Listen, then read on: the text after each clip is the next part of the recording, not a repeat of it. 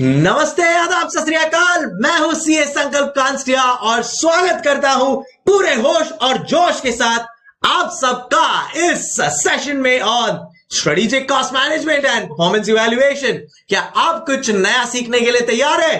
तो चलो then let's get started okay so कल का लेक्चर जो इंट्रोडक्शन वाला लेक्चर था, वहाँ पे अपन लोग ने समझने की कोशिश की कि कैसे स्ट्रेटेजिक कॉस्ट मैनेजमेंट एक बहुत ही क्रूशियल एक बहुत ही स्ट्रेटेजिक सब्जेक्ट है अपने फ्यूचर के लिए। जैसा मैंने आपको कहा कि आईसीएआई चाहता है कि वो आपको उस तरह ट्रेन करे कि आप एक एमबीए के लेवल की तरह सोच सके and that is the intent of this subject so advance management accounting से लेकर अब strategic cost management performance evaluation for full hundred marks तो कल अपन लोग ने समझा कि टोटल ट्वेल्व चैप्टर्स है अपने।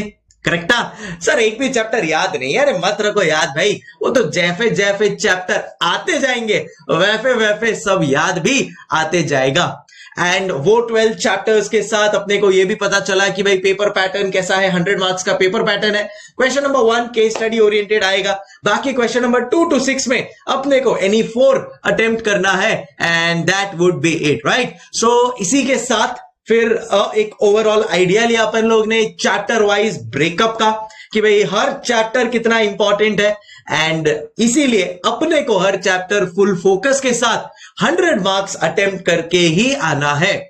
एक बात मैं बता दूँ कि आप किसी ओल्ड सिलेबस वाले स्टूडेंट को पूछोगे ना तो वो आपको बोल सकता है ये कि यार पेपर छूट जाता था कॉस्टिंग का तो कॉस्टिंग का तो पेपर अटेम्प्ट ही नहीं होता है। But I can give it to you with guarantee कि एस में ऐसा नहीं है। You will be able to attempt the paper with ease and अगर अपना कॉन्सेप्ट क्लियर रहा, अपना राइटिंग प्रैक्टिस बहुत अच्छा रहा देन इन दैट केस फिर पीछे मुड़ के देखने की ज़रूरत ही नहीं है। चलो so on that note let us quickly ensure कि अपन राइट right ट्रैक पर है। देखो, मैं एक चीज़ आपको हमेशा एवरी डे बेसिस पे कहने वाला हूँ। पूछो क्या? वो है कि जितना मैं करवाऊं प्लीज़ एंश्योर घर पे जाके वो चीज़, घर पे जाके या आप तो घर पे से ही देख रहे होगे तो प्लीज़ एंश्योर दैट वो चीज़ आप रिवाइज कर रहे हो। देखो क्या होता है स्टार्टिंग स्टार्टिंग में ना सबको जोश रहता है तो पब्लिक एकदम फुल फ्लेजेट होमवर्क भी करेगा और सब सम भी सॉल्व करेगा। बट फिर जैसे जैसे 10 15 20 लेक्चर हो गए, अब थोड़ा लेथार्जी आता है। इट्स ह्यूमन बिहेवियर ऐसा नहीं बोल रहा हूँ कि आप ही ऐसा करते हो। कहीं ना कहीं कभी मैं भी स्टूडेंट था, मेरे साथ भी यही होता था। कोई सब्जेक्ट स्टार्ट किया तो पूरे होश और जोश के साथ, और फिर बाद में धीरे धीरे धीरे लगता है, अरे यार चलना अभी कुछ और करते हैं। तो प्लीज़ इंश्योर कि एफा आपके साथ ना हो, क्योंकि अगर एफा होता है देन इन दैट केस कहीं ना कहीं आप थोड़ा लैग बिहाइंड कर पाएँगे, जो मुझे नहीं चाहिए। बिकॉज़ मेरे को इस सब्जेक्ट में आपसे आटो सब्जेक्ट से मैक्सिमम मार्क्स चाहिए। And yes you can score really really big तो डेफिनेटली अपने को उस हिसाब से ही मेहनत करते रहना है। See it is all about consistency and discipline चलो भाई, ज्ञान की बातें हुई पूरी। अब शुरू करते हैं। बैठे बैठे क्या करें? करना है कुछ काम। शुरू करें एस लेके प्रभु का नाम चलो भाई। स्टीव जॉब्स के एक कोट के साथ मैं स्टार्ट करता हूँ। स्टीव जॉब्स नाम तो सुना होगा सेनोरिटा एप्पल के जो फाउंडर थे, उनको, उनकी कंपनी से निकाल दिया और फिर उन्होंने उनकी कंपनी को वापस री एस्टैब्लिश किया। एंड आज की तारीख में, जी हाँ वर्ल्ड की सबसे वैल्यूड कंपनी सबसे ज़्यादा cash rich company more than 206 billion से भी ज़्यादा valued highest cash rich company in the world is Apple just imagine Steve Jobs whose no more I think it's been more than ten years of his death and still क्या काम करके गए हैं वो? ऐसा काम कि आज भी 10 साल उनके देहांत के बाद भी the company is still the most valued company in the whole world just imagine ऐसा कुछ करना चाहिए कि यार मतलब दस साल के बाद भी, आज भी दुनिया आपके पद चिन्हों पर चले। आज भी दुनिया आपकी बातें करे। उनका एक कोट मैं कहूँगा, एक मोटिवेशन मेरे लिए भी, आपके लिए भी। वो कहते थे that you have to be burning with a desire if you are passionate enough you will definitely succeed in all your ventures so ये चीज़ अपने को भी ध्यान में रखना है। फ़िलहाल अपने लिए क्या वेंचर है? कि फटाफट सी ए फाइनल का एग्ज़ाम्स क्लियर कर ले और एक चार्टर्ड अकाउंटेंट बन जाए बन जाए। बट ऐसी छवि छोड़ो, जैसे स्टीव जॉब्स ने छोड़ी थी दैट आज भी दुनिया उनके लीडरशिप लेसन को फॉलो करता है। आप किसी भी लीडर का कोट सुनना या कभी उनके इंटरव्यू सुनना, हर तीसरा या चौथा लीडर आपको यही बोलेगा कि उनके इंस्पिरेशन कौन है? स्टीव जॉब्स मैं तो उनको अपना गुरु मानता हूँ, मैं तो उनकी बुक्स भी पढ़ चुका हूँ। एंड क्या बताऊँ, आने वाले टाइम में जब अपन कॉस्टिंग पढ़ने वाले हैं तो एप्पल ने क्या क्या मैन्युफैक्चरिंग में पॉजिटिविटीज की है, वो सब भी मैं आप लोग के साथ बहुत जल्द डिस्कस करूँगा। बहरहाल स्टार्ट करते हैं C A final C M P costing अब मैं कोई चैप्टर को स्टार्ट करूँ, उसके पहले मैं आप लोग के साथ कुछ चीज़ें डिस्कस करना चाहता हूँ। सबसे पहले आप लोगों को मैं बताना चाहता हूँ मेरे पढ़ाने का तरीका। तो मेरे पढ़ाने का तरीका एकदम सिंपल एंड स्ट्रेट फॉरवर्ड है। तो मैंने आपको पहले भी कहा था the teaching methodology the teaching methodology that I use is very clear एकदम स्ट्रेट फॉरवर्ड एकदम simple but interesting at the same time तो क्या करेंगे अपन? तो सबसे पहली चीज़ जो मैं आपको करूँगा वो है कोई भी चीज़ सिखाने के पहले मैं आपको एक एग्ज़ाम्पल दूँगा। एक प्रैक्टिकल लाइव एग्ज़ाम्पल दूँगा जो शायद आपकी लाइफ के साथ हुआ होगा। जी हाँ तो देखो क्या होता है, पता है क्या? कोई भी एग्ज़ाम्पल होता है, जो अपनी लाइफ के साथ हुआ होता है या कोई नरेट करे तो वो हमेशा अपने को याद रहता है। है कि नहीं? बचपन का भी अपने को किसी ने कोई एग्ज़ाम्पल दिया होगा तो याद रह जाता है यार for some reason so I always thought कि यार एग्जाम्पल्स अगर इतने इजिली अपने को याद रह जाते हैं। एंड जैसा मैंने आपको कहा लाइव एग्ज़ाम्पल लाइव एग्ज़ाम्पल यानी जो आपके लाइफ से भी कनेक्टेड होंगे in majority of the time या आपने कहीं किसी और कंपनीज़ के लिए वो चीज़ देखी होगी। तो वैसा कुछ एग्ज़ाम्पल से पहले, सबसे पहले मैं आपको वो बताऊँगा। वो एग्ज़ाम्पल आपको समझ में आ गया। फिर उससे मैं कनेक्ट करूँगा आपको एक कॉन्सेप्ट के साथ। तो एग्ज़ाम्पल मैं जो दे रहा हूँ ना, वो एग्ज़ाम्पल उसी से रिलेटेड होगा जो कॉन्सेप्ट मैं आपको समझाना चाहता हूँ। तो अपन सेकेंड कनेक्शन किसका बिठाएँगे? सेकेंड कनेक्शन बिठाएँगे अपन लोग कॉन्सेप्ट का। एंड एक बार कॉन्सेप्ट भी क्लियर हो गया, उसके बाद उससे related practical sums analytical theory या केस स्टडीज़ जो भी करनी हो we will be in a much better position to manage it ठीक है? सो अपना फंडा एब्सोल्यूटली क्लियर रहेगा मतलब from first chapter till the last chapter मैं आपके दिमाग में भर दूँगा एग्ज़ाम्पल मतलब जब तक ये मेरा सेशन कंप्लीट होगा ना आप एक बिज़नेस मैनेजमेंट गुरु बन जाओगे. इतना मैं आप लोग को अश्योर कर सकता हूँ. जी हाँ. सो so, क्या करेंगे अपन लोग? अपन लोग फोकस करेंगे सबसे पहले एग्जाम्पल्स के ऊपर. जितने ज़्यादा मैं आपके पास लाइव एग्जाम्पल्स आपके लाइफ से कनेक्टेड एग्जाम्पल्स दे सकता हूँ वो मैं दूँगा. सेकेंड स्टेप में अपन क्या करेंगे? वो एग्ज़ाम्पल को कनेक्ट करेंगे कॉन्सेप्ट के साथ। एंड थर्ड फ़ेज़ में अपन लोग क्या करेंगे बच्ची? थर्ड फ़ेज़ में अपन लोग वो एग्ज़ाम्पल और कॉन्सेप्ट को मिला के प्रैक्टिकल सम सॉल्व करेंगे एनालिटिकल थ्योरी करेंगे at the same time case studies के सिनेरियोस को भी मैनेज कर पाएँगे।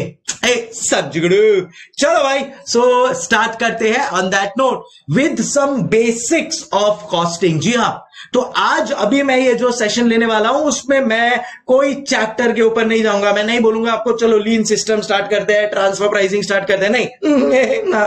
नहीं, मैं आपको पहले बताना चाहूँगा कि एग्जैक्टली exactly क्या होता है एक बेसिक्स ऑफ़ कॉस्टिंग जो अपने को समझना बहुत बहुत ज़रूरी है, जो अनफॉर्चुनेटली ध्यान से सुनना अनफॉर्चुनेटली बहुत सारी कंपनीज़ में आज भी यूज़ नहीं होता है। The theme of this concept is cost should be charge based on consumption ए, क्या रे वो बोला? Cost should be charge based on consumption नहीं समझे? चलो, जैसा मैंने आपको कहा था कि पहले अपन क्या करेंगे? एग्ज़ाम्पल लेंगे। और एग्ज़ाम्पल को फिर जो भी मैंने आपको कॉन्सेप्ट बताया, उसके साथ कनेक्ट करेंगे। तो आइए, सबसे चलते हैं पहले वाले एग्ज़ाम्पल की ओर। Okay so example number one कुछ ऐसा है, जहाँ पे मुझे तीन फ्रेंड्स चाहिए। चलो, आप, आपके कोई तीन फ्रेंड्स का नाम बता दो। अरे बोलो बोलो टेल टेल या अपनी बुक में लिख लेना, जो मैं एग्ज़ाम्पल दे रहा हूँ, उससे कनेक्ट कर लेना। चलो, मैं आपको बता देता हूँ, मेरे तीन फ्रेंड्स या हम लोग ने जैसे साथ में स्टडीज़ की थी तो मेरे तीन फ्रेंड्स का नाम मैं आपको बताता हूँ। एक है विराट कोहली, नाम तो सुना होगा, और एक है महेंद्र सिंह धोनी। जी हाँ हम तीन संकल्प, कोहली और धोनी आपको पता है, हम तीनों ने साथ में सीए की पढ़ाई की है। जी हाँ अंदर का सीक्रेट बता दू, धोनी और कोहली भी चार्टर्ड अकाउंटेंट है, एक किसी को बताना मत तो बात कुछ ऐसी है कि एग्ज़ाम्पल कुछ ऐसा है that there were three friends Virat Kohli, Mahendra Singh Dhoni and CA Sankalp कांस्टिया।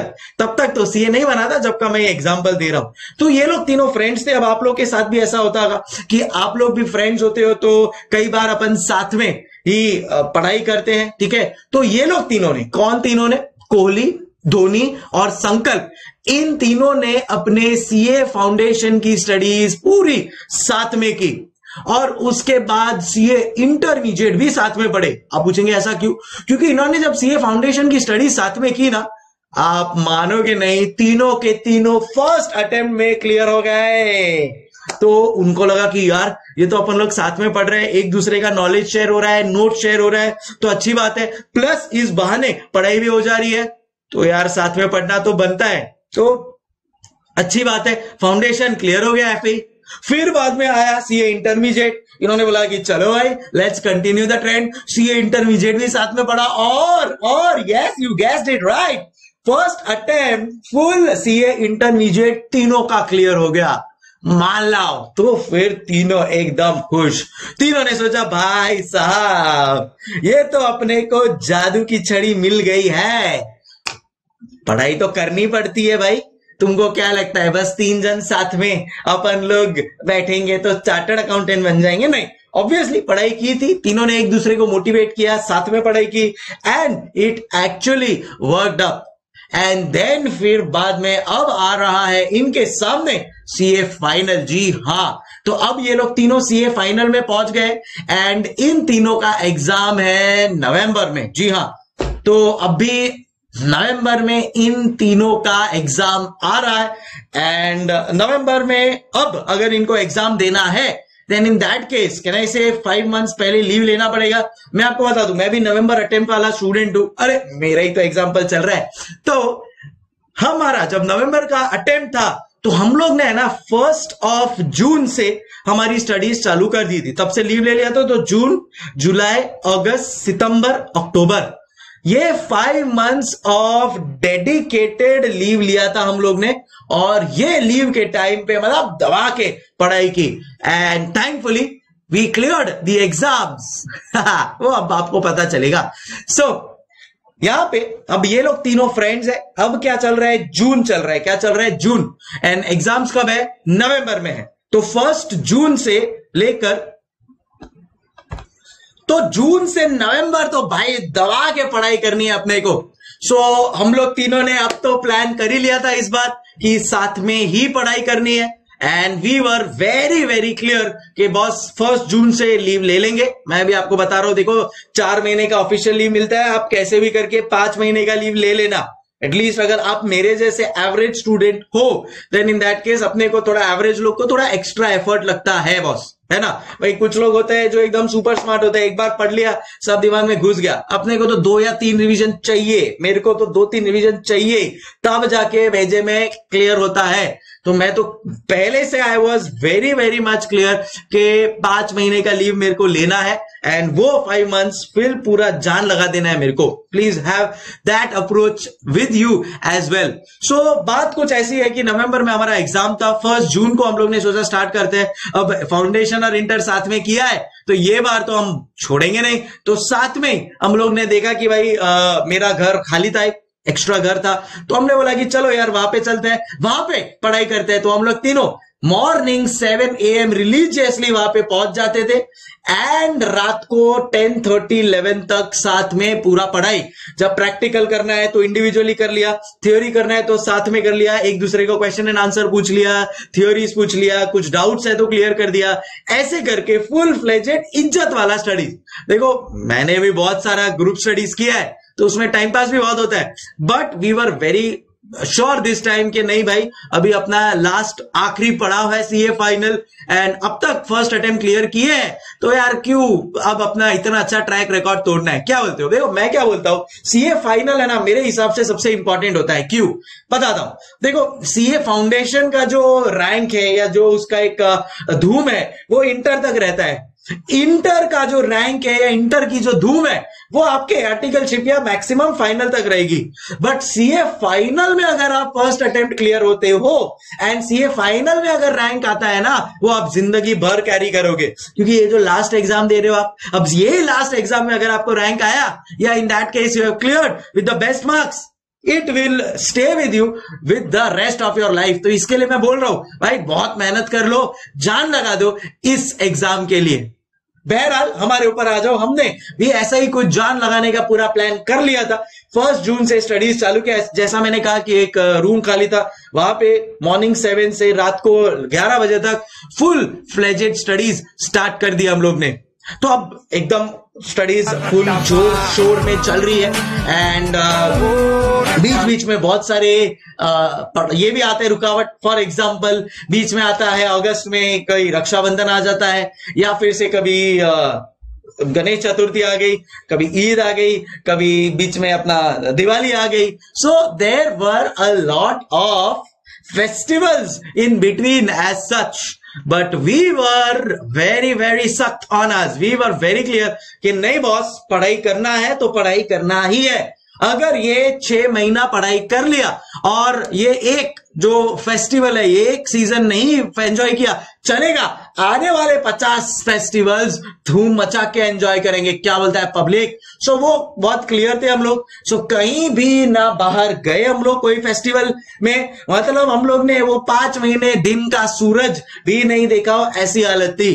बस मॉर्निंग में आओ अपना स्टडीज़ फुल फोकस पढ़ाई करो पढ़ाई करो पढ़ाई करो। एंड पाँच महीना बहुत सारे बीच में टेस्ट दिए ये वो फुल मतलब एकदम बोलते हैं ना कि जो बेस्ट दे सकते थे वो हमने दे दिया। ना कोई एक भी कोई फेस्टिवल पे बाहर नहीं बाहर का खाना भी नहीं खाया जस्ट इमेजिन कुछ भी नहीं। मतलब मानना पड़ेगा। क्यों? बनता है ना यार हमारा तो फ़र्स्ट अटेम्प्ट में सीए बनना। है कि नहीं? क्या? आप भी बनना चाहते हो? तो क्या करोगे? समझ गए ना? शाबाश। अब आ जाओ एग्ज़ाम्पल पे। सो so, ऐसा कुछ स्टोरी चल रहा था। अब एग्ज़ाम हुआ नवंबर में and twenty first of November को हमारा एग्ज़ाम कंप्लीट हो गया। ठीक है ना? सो कुछ बीच में आई थिंक दिवाली या उसका कुछ वेकेशन आ गया था, दो तीन दिन का, छुट्टी आ गया था तो ट्वेंटी फ़र्स्ट ऑफ़ नवंबर तक हमारा एग्ज़ाम चला। एंड ट्वेंटी फ़र्स्ट नवंबर को फाइनली एग्ज़ाम खत्म और हम लोग फ्री अब because we were in the same area तो हम लोग का सेंटर भी सेम ही आया था। तो हम लोग तीनों अब सेंटर से एग्ज़ाम देने के बाद बाहर निकले। आठवां पेपर होता है इनडायरेक्ट टैक्सेस इनडायरेक्ट टैक्सेस का पेपर दिया एंड बाहर. एंड बाहर निकलने के बाद फिर कोई डिस्कशन नहीं, कुछ नहीं. अब मैं आपको पूछना चाहता हूँ. सपोज़ आप मेरी, विराट या धोनी के जगह पे हो देन इन दैट केस अब आप क्या करोगे? देखो लास्ट फाइव मंथ्स का मैं आपको स्केड्यूल मेरा बता चुका हूँ कि जी जान तोड़ लगा के मेहनत करके पढ़ाई किया है। अब आप क्या करना चाहोगे? तो आपके दिमाग में सबसे पहला पॉइंट आएगा सर मैं तो जाके सो जाऊँगा सर सो जाऊँगा। पर मैं आपको एक बात बता दू एक फन फैक्ट बता दू। कितना भी एग्ज़ाम के बाद सोने का कोशिश करो आप नहीं सो पाओगे। पता नहीं क्यों। है, है वो तो होता है होता है ना आपके साथ। मेरे साथ तो ऐसा होता ही होता है। कितना भी मैं ट्राई करूँ पास हो ही नहीं पाता। और यही यही जब मैं पढ़ाई कर रहा होता हूँ, तब तो मुझे दिन में पचास बार नींद आ जाती है। मतलब एक घंटा भी अगर मैंने बुक खुली, रख ली, फिर बाद में सिक्सटी फ़र्स्ट मिनट पे, ए भाई, उठ जा उठ जा, ए भाई। हाँ ऐसी हालत हो जाती है यार। आपके साथ भी होता है ना ऐसा? मतलब लेजिट अगर मेरे को पढ़ाई करने के टाइम पे सूर्यवंशम जैसी मूवी भी दिखा दोगे ना तो उसको भी मैं पचास बार देख लूँगा और एंजॉय करके देखूँगा। क्यों? पढ़ाई नहीं करनी है ना? तो इसके लिए कोई भी कुछ भी दिखाओ मैं खुश होके देख लूँगा। बट यही जब मेरे को अब एग्ज़ाम खत्म हो गया आप बोलो चल कोई भी सूर्यवंशम देख मैंने चल कौन दे गया सो so, अभी अंडरस्टैंडिंग तो ऐसा कुछ हो रहा था अभी हम लोग को लगा कि यार सोएगा? नहीं कौन जाके सोएगा यार? तो आप लोग जो सोच रहे हो कि सोएगा? नहीं मन ही नहीं करेगा जा रहे कुछ भी ट्राई कर। कुछ लोग के दिमाग में आएगा सर गोवा चलते हैं। यस व्हाट एन आइडिया ये तुम लोग को लग रहा होगा ना ये कॉस्टिंग का सब्जेक्ट चालू है ये क्या करा रहा है? आ, आएगा भाई कॉस्टिंग आएगा। टेंशन ना लो। तो मैं और एक दिमाग में आया कि चलो यार सर गोवा चलते हैं ना यार सब लोग। बहुत दिन हो गए यार अपन घर पे ही बैठे हुए यार बनता है अभी तो। और सीए फाइनल मतलब अभी मेच्योर्ड लोग अपन यार ट्वेंटी वन एज है। तो घर वाले भी ज़्यादा टेंशन नहीं बोलने नहीं चाहिए कुछ इतना पढ़ाई करते हुए उन्होंने भी अपने को देखा है। मैं तो एक्चुअली गया भी था। सच्ची सच्ची बात बोलता हूँ मैं आपकी कसम मेरी कसम। सीए फाइनल के एग्ज़ाम के दो दिन बाद मैं गोवा गया था। जी हाँ। Wow that was the best best vacation because अब लाइफ में कोई टेंशन ही नहीं था। एग्ज़ाम जो अपना बेस्ट देना था दे दिया। अब रिज़ल्ट जो भी है ऊपर वाले के ऊपर छोड़ दिया। सो so, मज़ा आया था हम लोग। भी फ्रेंड्स ये फाइनल के फ्रेंड्स हम लोग पाँच दिन के लिए गए थे। At the best of time तो डेफिनेटली आप लोग भी अगर फ़र्स्ट अटेम्प्ट सीए फाइनल का दोगे ना उसके बाद गोवा अगर नहीं गए ना तो आपकी ज़िंदगी बर्बाद है। मतलब गए आप जिए नहीं लाइफ में। तो प्लीज़ अभी से प्लान करना चालू कर दो यार। बाकी पढ़ाई का प्लानिंग करो ना करो। ये गोवा का प्लान तो चालू कर ही सकते हो। क्यों? चलो। सो so, गोवा भी आप जाओगे तो दो तीन दिन बाद जाओगे ना भाई। कौन सा आज ही अभी एग्ज़ाम देके बाहर निकले हो और सीधा चलो गोवा चले। ऐसा तो होगा नहीं। तो अब क्या करें? देखो एग्ज़ाम टू टू फाइव होता है आपको, अगर एग्ज़ाम का टाइम पता होगा तो टू टू फाइव है कभी कभी इंस्टीट्यूट थ्री टू सिक्स रखती है। तो ऐसा समझ लो हमारा एग्ज़ाम थ्री टू सिक्स था। अब एग्ज़ाम देके जस्ट बाहर निकले हैं, और अब हम लोग यही सोच रहे हैं तो विराट ने बोला, यार, चलना, सो जाते हैं यार। तो हम लोग ने बोला, नहीं यार, अभी थोड़ी नींद आएगा। धोनी ने बोला, चलो यार, गोवा चलते चिकू। तो गोवा भी यार, अभी फ़िलहाल तो दो तीन दिन बाद जाएँगे ना। तो मैं बोला कि, यार, ऐसा करते हैं ना, अपन लोग तीनों कोई रेस्टोरेंट में खाना खाने को तो चले आज रात को। क्या बोलते हो पब्लिक? वैसे भी अपन लोग इतने महीनों से बाहर का खाना नहीं खाया। वो भी बॉम्बे में रहकर। मतलब एक मुंबई का स्टूडेंट का मैं आपको लाइव बता दू बॉस कि अपनी ज़िंदगी में ऐसा कोई भी दिन नहीं जाएगा जब अपन कुछ ना कुछ तो बाहर का ना खाए। भाई, एक वड़ा पाओ या कुछ तो चाहिए ही। ऐसे लोग होते हुए भी मतलब मेरी ज़िंदगी में, मैं आपको बता दूँ, मुझे तो खाने पीने का इतना शौक है भाई साहब, भाई गॉड की कसम, कि मैं रह ही नहीं सकता, बाहर का खाना खाए बिना, रोज कुछ ना कुछ तो मैं खा ही लूँगा। मतलब मैं तो जीता ही हूँ खाने के लिए, वाह वाह, मेरे मुँह में पानी आ गया। तो एनी विच केस ऐसे इंसान ने पाँच महीना बाहर का नहीं खाया। बोलोगे, क्यों नहीं खाया पाँच महीना बाहर का? क्योंकि यार देखो, पढ़ाई करना था। अब अगर बाहर का कुछ खाया एंड कभी कुछ पेट गड़बड़ या हुआ टाइम वेस्ट नहीं होना चाहिए। एक दिन भी इंपॉर्टेंट होता है, एक एक घंटा इंपॉर्टेंट होता है वो टाइम पे। तो मैं I was very sure about that तो कुछ भी नहीं खाया। यार अब मुझे लग रहा है, यार मतलब जो खाना है वो खा सकते हैं। I was really excited for it मैंने बोला, कोहली और धोनी को, मैं बोला, चलो ना यार भाई लोग, खाना खाने को चलते हैं रेस्टोरेंट में. उन्होंने बोला, यार अच्छा आइडिया ऐसा करते हैं, घर पे चलते हैं, थोड़ा फ्रेश हो जाता है and then let's go to a restaurant तो जर्नी कुछ हमारी यहाँ पे अब स्टार्ट हुई रेस्टोरेंट वाली। तो चले अपन तो घर पे गए हम लोग, फटाफट एकदम तैयार हो गए फ्रेश हो गए and now we were 8 PM and हम लोग आ गए अब यहाँ पे एक बहुत ही अच्छे रेस्टोरेंट में। बहुत ही अच्छे वाले तो नहीं, क्योंकि अभी अगर आप देखो तो यार थोड़ा हुलिया खराब था मतलब शेविंग वेविंग करने का टाइम नहीं मिला और ना बाल भी एकदम बड़े हुए हैं आई कैन अंडरस्टैंड सो अब मुझे लगा कि यार चलो कोई लोकल रेस्टोरेंट में तो हमको एक Shiv Sagar type of restaurant में चले गए।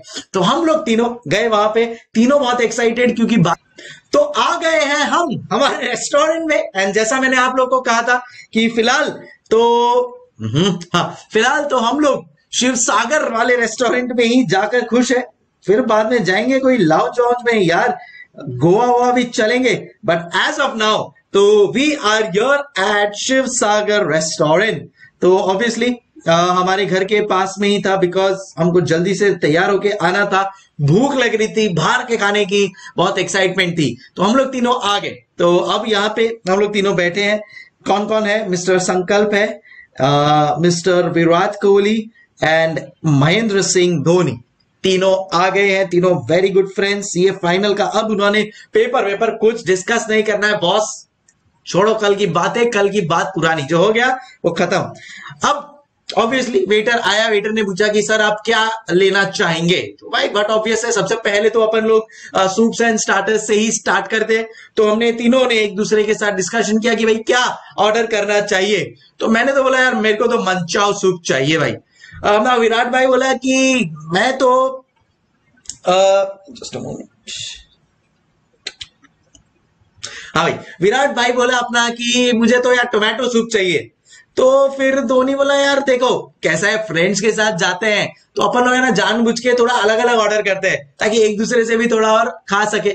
है कि नहीं? मैंने आपको बोला था एग्ज़ाम्पल आपकी लाइफ के साथ कनेक्टेड होगा। आप लोग भी गए होगे ना अपने फ्रेंड्स के साथ तो ऐसा ही कुछ किया होगा। तो मैंने बोला मंचाओ सूप विराट ने बोला he have tomato soup MSD ने बोला कि he will have sweet corn soup होता है ना sweet corn soup clear soup भी बोलते हैं उसको। तो that is what MSD will have यहाँ पे सबसे पहले स्टार्ट होता है सूप्स एंड स्टार्टर से। सो so, क्या ऑर्डर किया संकल्प ने? संकल्प ने ऑर्डर किया मंचाओ हम्म मुँह में पानी आया सर विराट ने ऑर्डर किया tomato soup and M S D हमारे शेर ने ऑर्डर किया है स्वीट कॉर्न चलो, ठीक है सो ये ऑर्डर हो गया। वी वर हैप्पी अभी हम लोग कंफ्यूज थे कि और कुछ स्टार्टर में मंगाए या मेन कोर्स ही मंगा ले। मेन कोर्स में भी धोनी बोल रहा है कि नहीं यार, मेरे को तो चपाती चाहिए, विराट बोल रहे हैं, नहीं यार, मेरे को तो दाल चावल चाहिए। मैं कुछ और सोच रहा हूँ तो we were like zapped and confused क्योंकि इतने दिन से खाया नहीं ना तो लग रहा है सब कुछ एक ही दिन में खा ले। तो फिर बाद में एमएसडी ने एक बहुत अच्छा आइडिया दिया। धोनी बोला कि ऐसा करते हैं ना यार चिको अपन लोग है ना, क्या करते हैं थाली ऑर्डर कर लेते हैं। और थाली में आप लोगों ने थाली खाई है कभी? तो थाली में तो सब आता है। चपाती भी आती है, पूरी भी आता है दो तीन सब्ज़ी आएगी, दाल आ जाएगा there is code there is मिठाई होती है, गुलाब जामुन होता है, पापड़ होता है, अचार सब कुछ मिल जाएगा। तो वी वर लाइक ये अच्छा आइडिया है यार डन सो so, हमने सोचा कि चलो अब हम मेन कोर्स में अब हम मेन कोर्स में क्या ऑर्डर करेंगे? तो मेन कोर्स में हम लोग ने ऑर्डर किया थाली। तो मैंने ऑर्डर किया गुजराती थाली। विराट कोहली ने ऑर्डर किया, Punjabi thali let's order something different no and MSD ने ऑर्डर किया राजस्थानी थाली। सो so, ये तीन थाली हम लोग ने ऑर्डर कर दी। एंड देन अब हो गया मतलब सब कुछ था वो थाली में and we were feeling really really happy uh taste buds को पेट को बड़ी ही राहत मिली। अब हो गया, खाना हो गया अब क्या करें? तो हमने सोचा कि चलो यार, थोड़ा आइसक्रीम आइसक्रीम भी मंगवा लेते हैं यार। मुझे तो बहुत पसंद है। तो मैं नहीं बोला। तो वेटर को बुलाया, मैं बोला, भाई, आइसक्रीम बताओ, कौन सी अच्छी है, सबसे बेस्ट तो उसने बोला, सर, सबसे बेस्ट तो हमारे यहाँ पे सिजलिंग ब्राउनी है। मैंने कहा, मैं तो भाई बेस्ट ही खाऊँगा तो मुझे तो चाहिए सिजलिंग ब्राउनी हम्म विराट बोला कि यार नहीं, मुझे ब्राउनी इतना वो सब नहीं चाहिए, मुझे तो एकदम सिंपल प्लेन वनीला लेकर आ जा। तो हमारे विराट भाई ने बोला कि यार मेरे को तो वनीला भी चलेगा। धोनी बोला कि यार चिकू, मेरा तो थोड़ा जो गला है ना, वो बैठा हुआ है। मुझे ना टॉन्सिल्स का प्रॉब्लम है। और मेरे को नहीं चाहिए कि अभी एग्ज़ाम खत्म हुआ है और अभी मैं वापस बेड पे आ जाऊँ। तो मुझे चाहिए कि यार मैं आइसक्रीम ना खाऊं तो बेटर है, क्योंकि अगर मैंने आइसक्रीम खा ली और ये टॉन्सिल्स बढ़ गया देन इन दैट केस मेरा तो स्यापा हो जाएगा यार। फिर बाद में कहाँ पे भी वापस से यार सब डॉक्टर के पास जाए, अभी तो वेकेशन है एंजॉय करना है। तो धोनी ने बोला, यार मैं तो कुछ भी ऑर्डर नहीं करने वाला हूँ यार। तो ऐसा कुछ हुआ। अब यहाँ पे एस के वी के एम एस डी खा लिया तीनों ने, अपने हिसाब से आइसक्रीम भी खा लिया। अब क्या? अब आ गया हमारा वेटर बोले, सर, और कुछ? हमने बोला, नहीं भैया, अब तुम लेकर आ जाओ बिल। और ऑब्वियसली सॉप और वो सब चीज़ वो लेकर आया। एंड साथ में वो लेकर आया बिल। तो उसने ऑब्वियसली कैलकुलेट करना स्टार्ट किया फटाफट। तो उसने कैलकुलेट किया कि भाई देखो टोटल सूप का कितना हो रहा है? तो उसने कैलकुलेट किया कि सूप में मंचाओ सूप कितने का आता है? आप बताओ कहना इसे 150 का आता है? टोमेटो सूप कितने का होता होगा? अप्रोक्सीमेटली हंड्रेड का। और स्वीट कॉर्न स्वीट कॉर्न में तो होता ही क्या है? उसका तो क्या ही चार्ज लगेगा? ठीक है भाई सेवेंटी फाइव रुपीज़ दे दिया।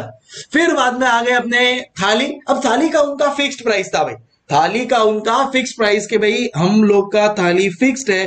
Three hundred three hundred and three hundred तो यहाँ पे 150 प्लस 100 250 प्लस 75 वो था 325 यहाँ पे आ गया 900 एंड लास्ट में था मेरा आइसक्रीम। अच्छा ये आइसक्रीम जो अपन लोग ने सिजलिंग ब्राउनी और वनीला और मंगाया, उसका कितना है? तो सिजलिंग ब्राउनी का है 150 वनीला का है अप्रोक्सीमेटली 80 रुपीज़ एंड तो कुछ है ही नहीं तो टोटल हो गया ये 230 तो फटाफट इन्होंने, भाई, जो वेटर है वेटर ये कैलकुलेशन कर रहा था और लेकर आया।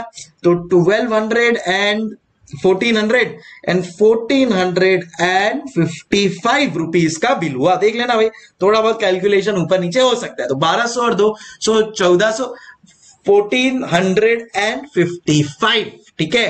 तो ये बिल आया। अब आप मेरे को बताओ कि क्या ये बिल एक ही आदमी भरता है? तुम लोग जब बाहर खाने को जाते हो या इसको डिवाइड करते हो? सच्चे अच्छे बोलो।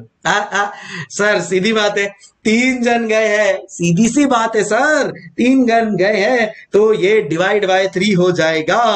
तो हम लोग ने डिवाइड बाय थ्री कर दिया। हमने सोचा कि चलो, थोड़ा टिप भी दे देते हैं यार। दिल बड़ा रखते हैं। अब तो अपन चार्टर बनने वाले दो महीने बाद। बस। तो हमने सोचा कि चलो फोर्टी फाइव रुपीज़ का टिप भी ऐड कर देते हैं तो टोटल हो जाएगा अपना फिफ्टीन हंड्रेड और फिफ्टीन हंड्रेड हम लोग है, तीन लोग सो डिवाइड बाय थ्री हमारे एक एक के पाती में आ जाता है फाइव हंड्रेड पर पर्सन तीनों ने फाइव हंड्रेड का नोट निकाला, हमारा जो वेटर था, उसको दे दिया 500 500 500 देखे, बोला, भाई टोटल ले जाओ एंड पूरा का पूरा रख लो, कुछ चेंज मत लाना, दिल बड़ा है हमारा, तेरे भाई का दिल बड़ा है। सो फिफ्टीन हंड्रेड रुपीज़ हुआ टोटल 500 दिया और लेकर निकल गए।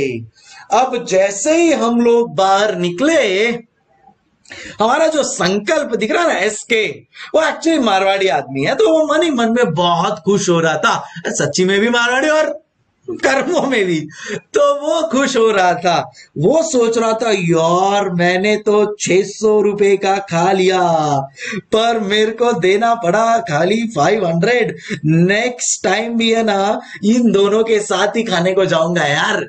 कम देने का, ज़्यादा खाने का। विराट सोच रहा था कि भाई ठीक है, मेरा तो टोटल 480 हुआ था। बराबर है, मैंने जो खाया उसका फोर एटी हुआ प्लस पंद्रह रुपया टिप का मतलब भाई, मेरे से तो पाँच सौ रुपए का खर्चा हुआ और पाँच सौ रुपया ही गया। और हमारे कप्तान साहब एम एस डी सोच रहे थे, ये खत्तियों के साथ मैं नहीं आऊँगा। ये देखो, मैंने तो खाया थ्री सेवेंटी फाइव रुपीज़ का और सालों ने मेरे से ले लिया पाँच सौ रुपए। बहुत ना इंसाफी है। आप लोग के साथ भी ऐसा होता है ना। कभी कभी आप ऐसे कोई फ्रेंड के साथ चले जाओ। समझो आप धोनी वाले साइड पे अभी। ऐसे कोई फ्रेंड के साथ चले जाओ जो दबा के खाता है और आप एकदम थोड़ा बहुत खा रहे हो। बट साला जब डिवाइड हो जाता है बिल तो बिल तो इक्वल हो गया। खाया आपने कम, खाया उसने डबल अरे सर, क्या आप भी चिंदी कर रहे हो? फ्रेंड्स में ऐसा, ए, चल चल। होता है ना अभी। देखो, आज की तारीख में जब अब मैं अपनी बात करूँ तो हम लोग अब बड़े हो गए हैं फ्रेंड्स लोग मिलते ही नहीं है। तो मतलब आज की तारीख में पैसा है, पर मज़े करने का टाइम नहीं है। एक टाइम था आपके जैसे लेवल वाला, जब मज़े करने का बहुत टाइम था बट पैसों की तंगी थी। तो ऐसा ही कुछ एमएसडी सोच रहा था। नहीं, कोई गलत नहीं इंटेंशन से सोच रहा था बट आया उसके दिमाग में कि यार 375 का ही खाया, और पाँच सौ रुपए का खर्चा हो गया। वही शंकर बाहर निकल के बहुत ही खुश है। उसको लग रहा है कि वाह, आज तो उसने एक जंग जीत ली। छह सौ रुपए का खा लिया और खाली पाँच सौ रुपए पे करने पड़े। कैसा लग रहा है? So that is how the whole thing happen अब यहाँ पे अब यहाँ पे आपको कोई, मैं इधर होटल मैनेजमेंट का लेक्चर नहीं ले रहा हूँ भाई, कि तुम्हारे को सूप पिलाऊं मेन कोर्स थाली खिलाओ अब आ जाओ कॉस्टिंग के ऊपर। समझे क्या? तो क्या बोल रहा है? अब कहानी को ध्यान से सुनो। धोनी को लग रहा है कि यार मैंने खर्चा तो किया 375 का बट मेरे लिए एक्सपेंस हो गया 500 का। है कि नहीं? देखो यहाँ पे ध्यान से देखो। संकल्प सोच रहा है। मैंने तो खाया खाली पाँच छह मैंने तो खाया छह सौ का पे करना पड़ा, खाली पाँच सौ, टिंग टिंग टिंग। है कि नहीं? विराट कोहली इज़ इनडिफरेंट उसको लग रहा है, पाँच सौ का खाया, पाँच सौ का दिया। है कि नहीं? सो so, अब ऐसा कुछ अगर अपने साथ हो रहा है अपन फ्रेंड्स के साथ गए तो चलता है सर थोड़ा बहुत ऊपर नीचे। आज धोनी को टॉन्सिल हुआ है धोनी सोच रहा है कोल उठ के संकल्प को भी टॉन्सिल तो होगा तब लेके जाऊँगा मैं उसको आइसक्रीम खिलाने का और हिसाब बराबर कर लूँगा। जी हाँ। एनी केस पॉइंट इज़ क्या कॉस्ट सही तरीके से बटा है क्या यहाँ पे? यही गलती जो शायद फ्रेंड्स के साथ हुई है और ठीक है, निकल सकते हैं, कोई प्रॉब्लम नहीं है अंदर अंदर चलता है बट यही गलती अपन लोग अपने बिजनेसेस में करते हैं। जी हाँ अपन क्या करते हैं, अपन को लगता है कि भाई टोटल फिफ्टीन हंड्रेड रुपीज़ का खर्चा हुआ है टोटल नंबर ऑफ़ यूनिट्स है थ्री चलो 500 500 500 बांट दो तीनों में, पर ये गलत है। Cost should be charge based on consumption अरे ओ संकल्प तूने कितने का खाया है रे? अरे सर, मैंने तो खाया है पाँच, छह सौ रुपए का तो तू छह सौ रुपए का पे करेगा। Cost should be charge based on consumption पाँच सौ रुपए दिए तूने, छह सौ रुपए का खाया है। मतलब कहना से तेरे केस में अंडर कॉस्टिंग हो गया है। मतलब कहना से तेरे केस में अंडर कॉस्टिंग हो गया है। विराट कोहली के केस में एकदम एप्ट कॉस्टिंग हुआ है। बट यही, धोनी के केस में उसने खाया थ्री सेवेंटी फाइव का और उसको पे करना पड़ा छह सौ रुपया। पाँच सौ रुपया। सो कहना से धोनी के केस में ओवर कॉस्टिंग हो गया है? तो अनफॉर्चुनेटली अपना कॉस्टिंग मेथडोलॉजी ऐसा है कि it always result in incorrect costing जो प्रोडक्ट एप्ट कॉस्ट होने चाहिए थे, तीनों हो सकते थे बट हुआ क्या? एक ओवर कॉस्टिंग हो गया, एक अंडर कॉस्टिंग हो गया and so on and so forth अब देखो फ्रेंड्स लोग हैं तो थोड़ा बहुत उन्नीस बीस जैसा मैंने कहा, चलता है, सर, क्या फ्रेंड्स लोग के सामने झगड़ा करवा रहे हो और ज़िंदगी कर रहे हो? देखो, बात वो नहीं है। बात ऐसी है कि क्या ये सही तरीका है क्या? The answer is N O no तो क्या सही तरीका होगा? That cost should be charge based on consumption हमेशा ये पंच लाइन ये बेस लाइन ये फंडामेंटल लाइन याद रखना, क्योंकि ये आने वाले बारह जो भी चैप्टर्स है आने वाले ज़िंदगी भर जो चीज़ें है वो सब जगह आपको ये वाले एग्जाम्पल्स याद आएँगे मेरे। जी हाँ कल उठ के आप भी एंटरप्रेन्योर बनोगे आप भी खुद का बिज़नेस स्टार्ट करोगे। Use these examples and base concept fundamental concept for your as well इसके लिए मैं अभी ये बता रहा हूँ। आप बोलोगे यार सर इसका किस्सा हमारे उससे क्या कनेक्शन है? कनेक्शन है। समझ रहे हो? सो so, आगे जब चीज़ें कनेक्ट होगी ना, तब पता चलेगा। क्या आपको ये एग्ज़ाम्पल बखूबी समझ में आ गया है? क्या आप भी समझ पा रहे हैं? है कि नहीं? यस एवरीबॉडी मैं जो भी एग्ज़ाम्पल दूँगा ना, वो सब जैसा मैंने आपको आपकी लाइफ से कनेक्ट होंगे एंड आपको ज़िंदगी भर उसको याद रखना है। मतलब लेजिट या आपको लाइफ टाइम याद ऑटोमेटिकली रहेगा। ऐसा नहीं कि सर पे एकदम बोझ लेके याद रखना। ऑटोमेटिकली आई श्योर आपको ये याद रहेगा ही रहेगा। अभी अंडरस्टैंडिंग चलो, दो मिनट दे रहा हूँ, फटाफट देख लो, आपको लिखना है, लिख लो। वैसे तो ये चीज़ मैं आपके साथ शेयर करने ही वाला हूँ still if you need you can just have it समझगड़ू। चलो सो ऑन दैट नोट अपन को समझ में आ गया फ्रेंडशिप लेवल पे ही सही, फ़िलहाल तो क्या? Cost should be charge based on consumption तुम्हारे जहन में, दिमाग में घुसा दूँगा, जो कॉन्सेप्ट मेरे को पढ़ाना है। इतने एग्ज़ाम्पल दूँगा। छोड़ूँगा नहीं, समझे? अब चल रहे अपन लोग एग्ज़ाम्पल नंबर टू पे। बहुत जल्द। वहाँ पे भी यही कॉन्सेप्ट को समझेंगे बट अब बिज़नेस को इंट्रोड्यूस करना पड़ेगा। अब तक आपको लग रहा है, ये तो फ्रेंड्स फ्रेंड्स का ऐसा चलता है, थोड़ा ऊपर नीचे ऐसा मत करो। ठीक है, मान लिया। अब चलते हैं बिज़नेस पे, और मैं आपको प्रूव करके बताता हूँ बिजनेसेस भी इसको रॉन्ग यूज़ कर रहे हैं एंड कैसे इसको सही किया जा सकता है। आओ। यस फ़िलहाल फटाफट ये दो मिनट ले रहा हूँ कॉपी कर लो, करना है तो। सिर्फ़ ध्यान रखना एसके के केस में क्या हुआ है? ओवर कॉस्टिंग एमएसडी के केस में क्या हुआ है? अंडर कॉस्टिंग एंड अनफॉर्चुनेटली यही हो रहा है अपने भी सिस्टम में तीन में से दो प्रोडक्ट ओवर या अंडर कॉस्ट हो रहे हैं। मतलब 67 percent two out of three मतलब 67 परसेंट इन करेक्ट कॉस्टिंग हो रही है अपने प्रोडक्ट्स में भी, क्योंकि अपन कॉस्ट को समझ ही नहीं पा रहे हैं। अपन कॉस्ट को सही मायने में चार्ज ही नहीं कर पा रहे हैं। हम्म समझू चलो फटाफट ट्रेस इट आउट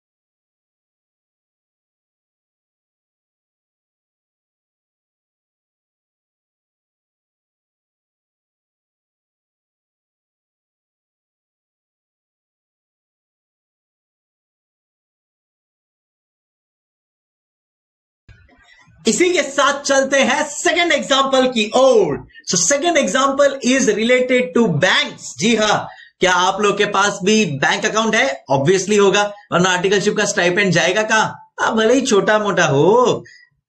मिलता तो है। सो बैंक से रिलेटेड एक, अब देखो, मैंने आपको क्या बताया था कि फ़र्स्ट एग्जांपल वाज चलो भाई फ्रेंड्स वाला था तो सर चलता है थोड़ा बहुत ऊपर नीचे फ्रेंड्स में तो कोई टेंशन नहीं है। I agree I accept but मैं आपको बता रहा हूँ कि ये सेम चीज़ हो रही है even in the bank scenario yes and अभी मैं आप लोग को जो एग्जांपल बताऊँगा उससे आपको खुद को क्लियर हो जाएगा। Uh, अब मेरा जो एग्जांपल है ना that is related to ATM क्या एटीएम से आपने कभी पैसा विड्रॉ किया? Automated teller machine yes yes okay so चलो भाई मेरा एग्जांपल में चलो उसके पहले। डू यू नो ये एटीएम आया किधर से? What gave rise to the whole concept of ATM any idea मैं आपको बताता हूँ। जानना चाहोगे? चलो थोड़ा सा नॉलेज बढ़ाओ अपना। ये आया पूरा का पूरा with the concept of automation जब आप कोई मल्टीनेशनल कंपनी में काम करोगे ना, जैसे मैंने जेपी मॉर्गन में काम किया था तो हमारे को एक चीज़ एकदम क्लियरली सिखाई गई है। उन्होंने बोला था कि कोई भी काम जो मैनुअली हो रहा हो अगर उसको तुम ऑटोमेट कर सकते हो तो try to find out ways कि आप कैसे उसको ऑटोमेट कर सकते हो। ऑटोमेट का मतलब use machines to automatically do the calculations तो इनका दिमाग, ये जो मल्टीनेशनल कंपनीज़ वाले हैं ना, इनका दिमाग एक ही चीज़ पे एकदम तो तेज भागता है। एंड वो है कि कैसे ऑटोमेट करे। कैसे ह्यूमन जहाँ पे भी है, वहाँ पे ह्यूमन बिहेवियर कोई हटा देवे। एंड दैट इज़ वेयर उन्होंने, अब मानोगे नहीं, उन्होंने बैंक में ऐसा चीज़ डेवलप किया है, जहाँ पे उनके कोई लोग है ही नहीं। There is person less bank developed outside India yes that is true उनका क्या मानना है? उनका सोचना है कि यार, अगर हम बैंक रखेंगे बैंक के लिए रेंट पे करना पड़ेगा तो रेंटल कॉस्ट अपन लोग पे करें।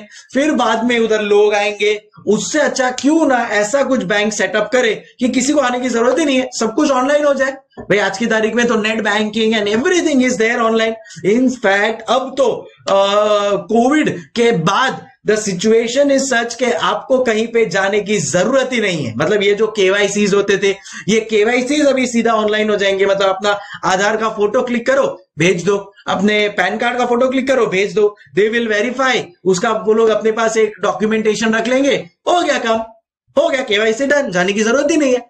So everything now is automated अब उसकी वजह से rental cost was the biggest saving क्योंकि अब तो रेंट देने की ज़रूरत ही नहीं है, क्योंकि अब मेरा जो इतना बड़ा जगह था, हो गया, बच गया। Huge amount of dollar savings that they have done with this plus उसकी वजह से जो उनको लोग रखने पड़ते थे, अब उसकी भी ज़रूरत नहीं है बिकॉज़ अब वो भी नहीं है। अभी understanding guys so this is how it works and इसकी वजह से ही उनको लगा कि यार, अब जो हमारा प्रोसेस है बैंक्स का, क्यों ना इसमें भी कुछ एक नयापन लाया जाए? And that is where ATM was born मैं आपको एक मेरे लाइफ का एक वाक्य बताता हूँ, जहाँ पे मुझे लगा कि वाह, क्या ऑटोमेशन है। So i was uh, traveling in australia. So i was traveling from brisbane to melbourne. तो मैं ब्रिस्बेन से मेलबर्न जा रहा था तो मेरी फ़्लाइट थी। तो मैंने वहाँ पे देखा जैसे मैं ब्रिस्बेन के एयरपोर्ट पे गया कोई लोग ही नहीं है असिस्ट करने के लिए कुछ भी। खुद से अपना जो भी बोर्डिंग पास का नंबर है टाइप करो ऑटोमेटिकली आएगा। खुद ही अपना लगेज रखो ऑटोमेटिकली कुछ वो स्लिप जनरेट होगी। बैग के ऊपर चिपकाओ बैग चले जाएगा। फिर you know you have to go to that line flight पे बैठो। हो गया, फ़्लाइट पहुँच गए, फिर मेलबर्न में उतरा। अगेन एवरीथिंग वाज ऑटोमेटेड पूरे के पूरे प्रोसेस में मैं ब्रिस्बेन एयरपोर्ट एंटर किया। तब से मेलबर्न एयरपोर्ट एग्जिट किया। मैंने कोई इंसान के साथ कोऑर्डिनेशन नहीं किया, ना बात की, ना किसी की ज़रूरत लगी। I was shocked I was like वाह, क्या बात है? और ऐसा नहीं कि मैं अभी गया हो गया मेरे को काफ़ी थोड़ा टाइम भी हो गया उधर गए हुए। सो so, आज से पाँच साल पहले की बात आप समझ लो मैं बात कर रहा हूँ। I was like wow amazing so ये होता है ऑटोमेशन जेपी मॉर्गन में जब आया तो कितनी सारी चीज़ें मैंने ऐसी देखी जो पहले मैं मैनुअली करता था।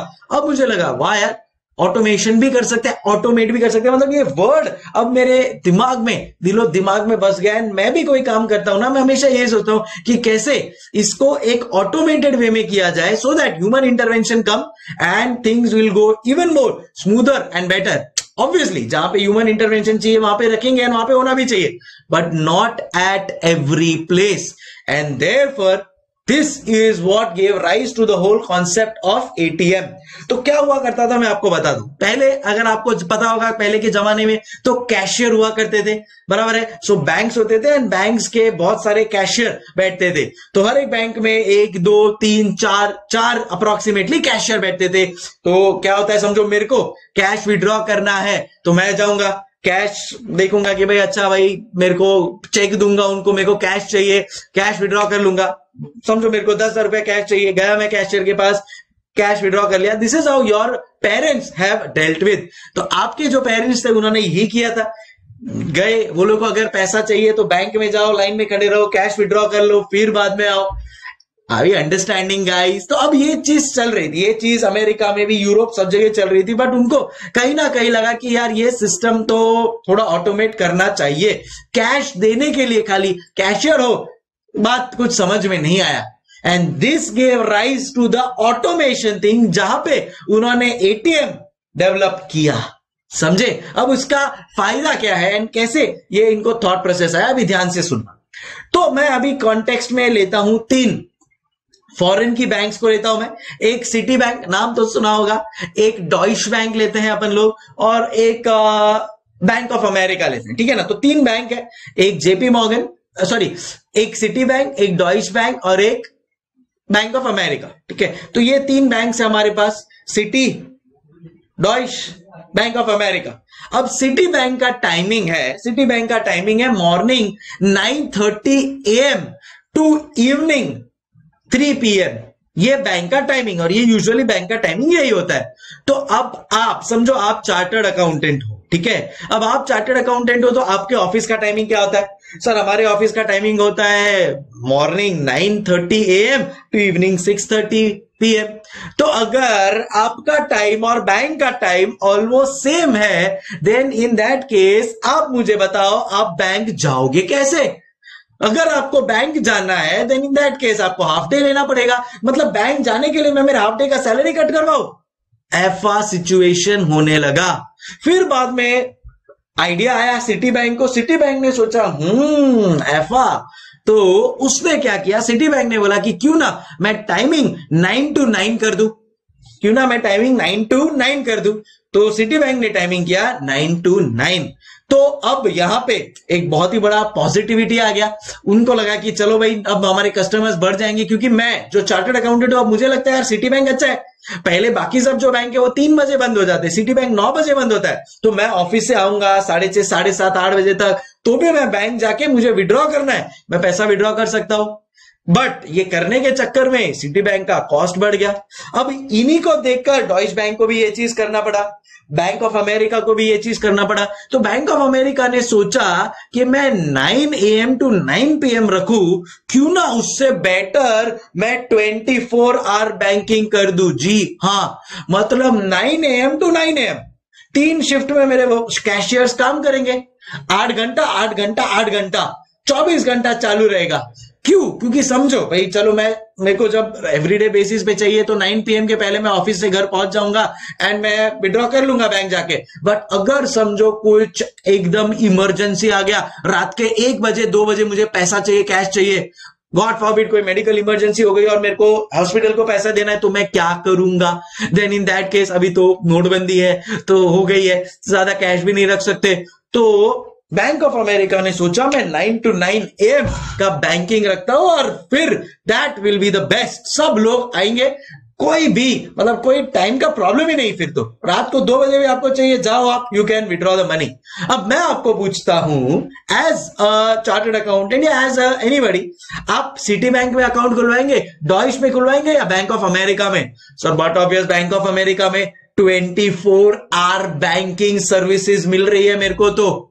भाई ट्वेंटी फोर आवर मतलब जब आना है, जाओ, जब जाना है, आओ जब आना है, आओ, जब जाना है, जाओ। सर बेस्ट रहेगा ये। बट ये करने के चक्कर में बैंक ऑफ़ अमेरिका ने रियलाइज़ किया, यार, इनके खर्चे बहुत बढ़ गए क्योंकि तीन शिफ्ट में उनको कैशियर को बुलाना पड़ रहा है। तो कैशियर कॉस्ट बढ़ गया है काफ़ी ज़्यादा। बराबर है? अब ज़्यादा अपन रिकवरी नहीं कर सकते कॉस्ट नहीं चार्ज कर सकते अपने कस्टमर को बिकॉज़ कस्टमर फिर बोलेगा, अरे, नहीं नहीं, फिर तो मैं सिटी बैंक के पास ही जाता हूँ। तो ये चीज़ की वजह से बैंक ऑफ़ अमेरिका को लगा कि नाइन टू नाइन तो रखना है। बट अब हम क्या करें ऐफा कि ये नाइन टू नाइन भी हो जाए और कैशियर का कॉस्ट भी कम हो जाए, उनका दिमाग दौड़ने लगा ऑटोमेशन पे। उन्होंने सोचा, यार, क्यों ना कुछ ऐसा किया जाए जिससे ऑटोमेशन हो जाए? तो नाइन टू नाइन का काम भी हो जाए और कॉस्ट सेविंग भी हो जाए। जी हाँ। Is what gave rise to the whole concept of A T M अब ये करने के बाद ऑटोमेशन भी हुआ, जो अपने को पढ़ना है चैप्टर थ्री में, बता दू। ऑटोमेशन के साथ साथ बहुत बड़ा कॉस्ट सेविंग भी हुआ। जी हाँ। कैसे हुआ कॉस्ट सेविंग आओ, मैं आप लोग को इसका कैलकुलेशंस बताता हूँ। आओ आओ।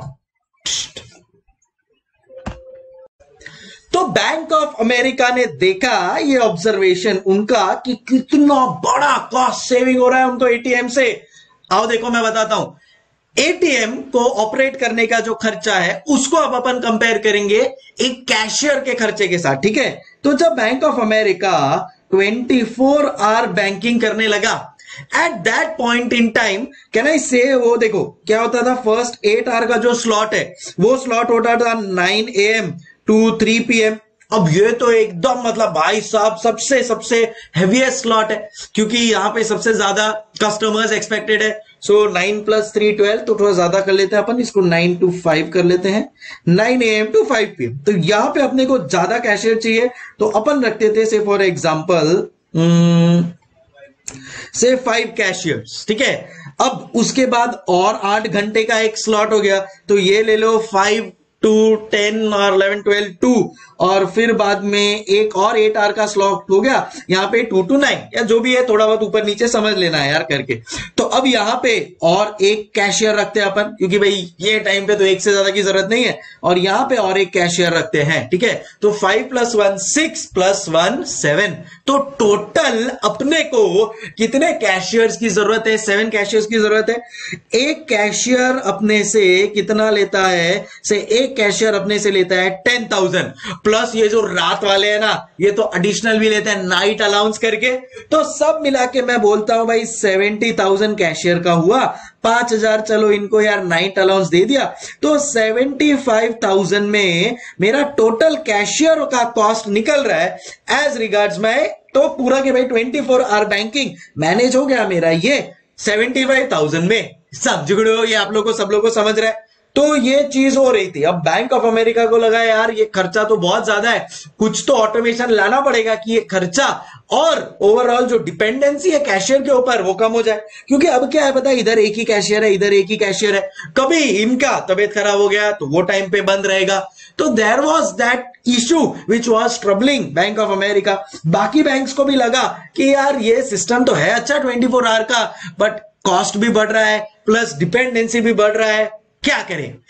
इसकी वजह से उन्होंने सोचा, क्यों ना कुछ ऑटोमेट किया जाए which gave rise to the whole concept of ATM और फिर उन्होंने एटीएम अब एटीएम क्या है? कैशियर का तो जैसे ही है। डेबिट कार्ड दिया डेबिट कार्ड इंसर्ट जो भी चाहिए, पैसा आ जाएगा। किसी ह्यूमन इंटरवेंशन की ज़रूरत नहीं। प्लस उन्होंने नोट किया कि एटीएम का तो ये seventy five thousand per month जो कॉस्ट है, वो मेरा कैशियर का कॉस्ट है। उन्होंने नोट किया कि यार, ये एटीएम का मेरा जो मंथली कॉस्ट जा रहा है, वो एज सच काफ़ी कम है। कितना है? देखते हैं अपन लोग तो। देखो भाई एटीएम को सबसे पहले तो ये जो डब्बा है उसको सेटअप करने का कॉस्ट है। है कि नहीं? चलो अस्यूम कर लो अस्यूम कर लो कि ये डब्बे का टोटल कॉस्ट है से सेवन लैख फिफ्टी थाउज़ेंड ठीक है? अब ये अगर सेवन लैख फिफ्टी थाउज़ेंड है तो एक साल तो नहीं है तो पाँच साल चलेगा। तो डिवाइड बाय फाइव कर लिया। तो कहना इससे one lakh fifty thousand per annum का इसका कॉस्ट है? भाई, वो जो मेन डब्बा है एटीएम का बच्ची ठीक है? इसको डिवाइड बाय ट्वेल्व कर लेते हैं ताकि अपने को मंथली मिल जाए। तो one lakh fifty thousand divide by twelve करोगे तो मोटा मोटी साढ़े बारह हज़ार रुपया आएगा। तो मैंने सोचा कि चलो कॉस्ट कैलकुलेशन चालू करते हैं एटीएम का। तो एटीएम का जो मेन सेट है, उसका कितना? Approximately twelve thousand five hundred per month अच्छा उसके अलावा एक सिक्योरिटी गार्ड रखना ही पड़ेगा बॉस आपको। कहना है तो सिक्योरिटी गार्ड का जो कॉस्ट है वो कितना हो जाएगा? तो से फॉर एग्जांपल ले लो एट थाउज़ेंड उसका ले लो। बराबर? सर अभी ऐसा अपन लोग ये सेटअप करेंगे। कभी कभार सर एटीएम भी बंद हो जाता है, चलता नहीं है, कुछ इश्यूज़ आ जाते हैं तो सर उसके लिए आईटी डेवलपर चाहिए ना? बराबर है? बट एक एटीएम के लिए तो एक आईटी डेवलपर नहीं रखूँगा। मैं ऐसा करता हूँ, दस एटीएम के लिए, एक एरिया के दस एटीएम के लिए पचास हज़ार रुपए का मैं उसको दे देगा तो वो मेरा आईटी डेवलपर का काम हो गया। तो आईटी डेवलपर तो ये यार पचास हज़ार रुपए में मेरा दस एटीएम को मैनेज कर लेगा आराम से, बराबर तो कहना इसे एक एटीएम को पाँच हज़ार रुपए का कॉस्ट तैर करना पड़ेगा, समझ गुड़ू तो वो भी मैंने ले लिया यार। चलो ठीक है, और सर इलेक्ट्रिसिटी कॉस्ट भी तो जाएगा। चलो, पाँच हज़ार रुपया इलेक्ट्रिसिटी के नाम पे दे दिया यार। सर रेंट रेंट वो जो वो जो जगह है, सर, उसका रेंट भी तो जाएगा। यस यस चलो रेंट का अपन लोग ने दे दिया छोटा सा जगह होता है तो ले लो। चलो, दस हज़ार रुपया रेंट और से फॉर एग्ज़ाम्पल और कुछ मिसलेनियस एक्सपेंडिचर ले लेते हैं पाँच हज़ार रुपए का। वो जो, वो पेपर का जो आता है पेपर रोल या कैश को आने जाने का, खैर वो तो वैसे भी हो रहा था जब कैशियर था तभी भी। तो मिसलेनियस एक्सपेंस ले लिया अपन लोग ने इससे पाँच हज़ार रुपया। तो अब यहाँ पे मैं अगर इसका टोटलिंग करता हूँ तो कितना होता है? तो ten plus five fifteen and five twenty twenty five thirty five forty three and two forty five thousand मैं बोलता हूँ, और पाँच हज़ार रुपया कुछ ऐड कर दो। टोटल मिला के रुपीज़ फिफ्टी थाउज़ेंड में। ये और पाँच छह हज़ार मैंने ऐड कर दिया, ऐसे ही परचूर मतलब ये मिसलेनियस को मैंने तो ऐसे टेन थाउज़ेंड ले लिया। जाओ। टोटल रुपीज़ मेरा फिफ्टी थाउज़ेंड आ रहा है। जी हाँ कितना? मेरा टोटल कितना आ रहा है? मेरा यहाँ पे एटीएम का कॉस्ट कितना आ रहा है? एटीएम मेंटेन करने का मंथली कॉस्ट एटीएम मेंटेन करने का मंथली कॉस्ट कितना रे वो आ रहा है? सर फिफ्टी थाउज़ेंड रुपीज़ आ रहा है समझ तो सेवेंटी फाइव थाउज़ेंड रुपीज़ से अब पचास हज़ार पे आ गया है, मैंने बोला था ना।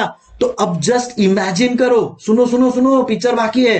मंथली आपका पर ब्रांच, है भाई, पर ब्रांच आपका twenty five thousand per month save हो रहा है। मल्टीप्लाई बाय ट्वेल्व मंथ्स मतलब three lakh per annum per branch save हो रहा है।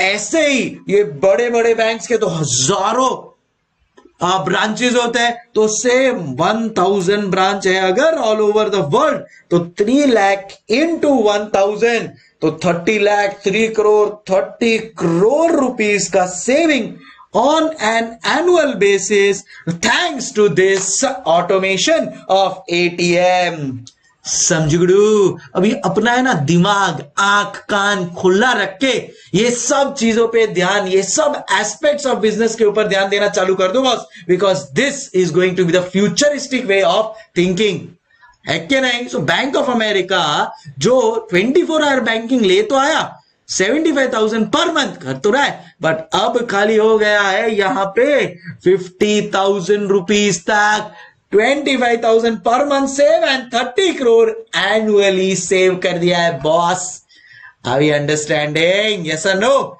चलो आओ अब कहानी को आगे बढ़ाते हैं. सो so, ऐसा this is how ATM was born automation cost saving ये है strategic cost management futuristic thinking के कॉस्ट भी सेव कर लिया लॉन्ग टर्म में फ़ायदा भी हो गया, और आज की तारीख में पूरा वर्ल्ड इसी सिस्टम पे चलता है।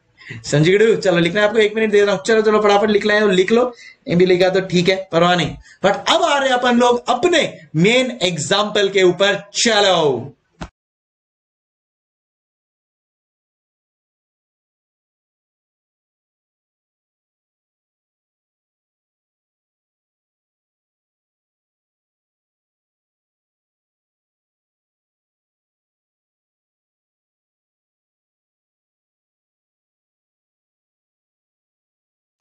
तो बात कुछ ऐसी है कि अब फिर से मुझे तीन फ्रेंड्स चाहिए। जी हाँ। क्या लग रहा है, अब मैं किसको लूँगा? अब मैं लूँगा हमारे बॉलीवुड के कुछ सेलिब्रिटीज को। शाहरुख खान, सलमान खान और आमिर खान। चलो सो तीन फ्रेंड्स है यहाँ पे S R K, Salman Khan and Aamir Khan. And ये वाला मेरा जो एग्ज़ाम्पल है, ये एग्ज़ाम्पल कनेक्टेड है किसके साथ? जी हाँ बैंक्स के साथ। इसीलिए मैंने आप लोगों को अभी बैंक्स का कुछ एक आइडिया दिया था। तो क्या है ये एग्ज़ाम्पल क्या आप सुनने के लिए तैयार है? चलो देन लेट्स गेट स्टार्टेड तो बात कुछ ऐसी है कि हमारे यहाँ पे ये तीन फ्रेंड्स है, ठीक है? अब ये जो तीन फ्रेंड्स है, इन तीनों का एक बैंक अकाउंट है H D F C bank में। इन तीनों का बैंक अकाउंट है एच डी एफ़ सी हाँ H D F C bank में इन तीनों का अकाउंट है, खाता है। अब यहाँ पे H D F C bank है अज्यूम करो, खाली तीन ही क्लाइंट है।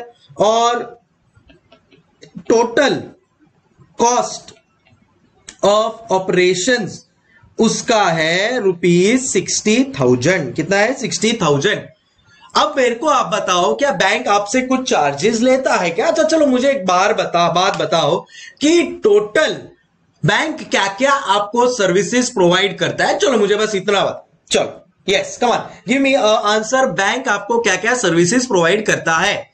आप बोलेंगे, सर, सबसे पहले तो हम अपना अमाउंट चेक वो भी डिपॉजिट कर सकते हैं।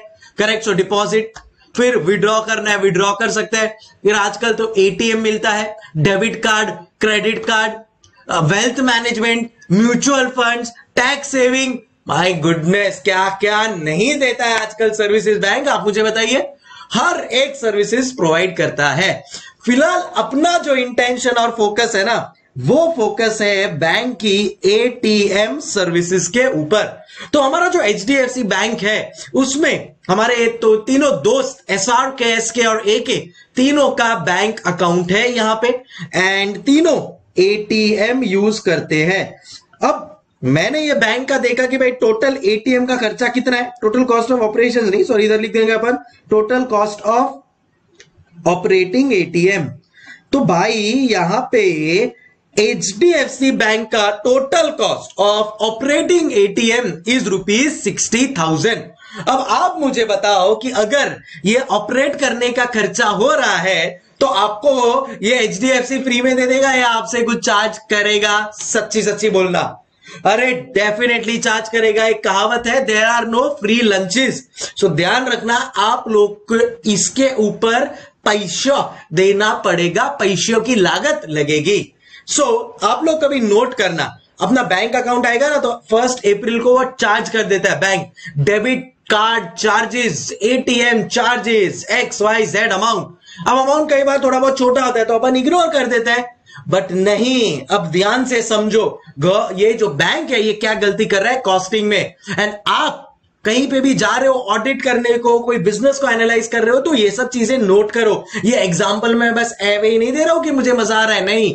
ए I want you to learn something from all of these examples नहीं तो ठीक है? तो total cost of operating ATM कितना है? Rupees sixty thousand total bank के पास कितने कस्टमर्स है?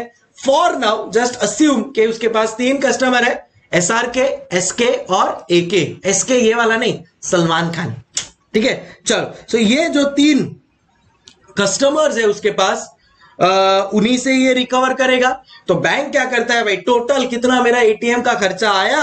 टोटल मेरे कितने कस्टमर्स है? तो टोटल तीन कस्टमर्स है डिवाइड कर दिया और हमने इधर चार्ज कर दिया। इनके अकाउंट्स में आ गया है ATM charges twenty thousand S R K twenty thousand S K and twenty thousand A K बराबर? एफ़ होता है। हाँ या ना, बिल्कुल ऐसे ही होता है। चाहिए तो आप चेक कर लेना। कोई बैंक मैनेजर जाके मिल लेना। कैसे कैलकुलेशन होता है? Will tell you this only मैं कर चुका हूँ ये सब। छानबीन। इसके लिए आपको बता रहा हूँ। अब मैं आपको एक बात कहना चाहता हूँ। इसमें से जो एस आर के है ना एस आर के, ये बंदा है ना, क्या है पता है क्या? ये बंदा एक आर्टिकल क्लर्क है। आपके जैसा नौ आर्टिकल क्लर्क है। ये क्या है? आपके जैसा एक आर्टिकल क्लर्क है। कौन है ये? एस आर के और ये जो बैंक का एटीएम है ना, उसी के ऊपर उसका ऑफ़िस है। एकदम टिपिकल पुराने स्टाइल का ऑफ़िस है इसका एसआरके का। तो बात कुछ ऐसी हो जाती है कि हमारा ये एसआरके बड़ा ही नटखट है। अब इसका जो ऑफ़िस है, वो एकदम टिपिकल चार्टर्ड अकाउंटेंट का जो ऑफ़िस होता है, वैसा है।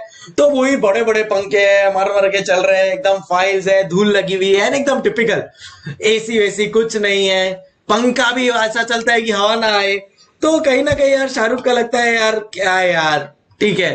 तो शाहरुख का, पता है उसको कि भाई नीचे ही एटीएम है और नीचे ही उसका बैंक अकाउंट भी है तो शाहरुख नीचे जाता है रोज। लंच के बाद एटीएम के बहाने वो एसी चिल्ड एसी वाले एटीएम में चले जाता है। यार अपन सब लोग ने नोट किया है कि पता नहीं क्या है इनके बट एटीएम में तो ऐसा चिल्ड होता है ना जैसे कि पता नहीं स्विट्जरलैंड बना दिया है उस छोटे से जगह को।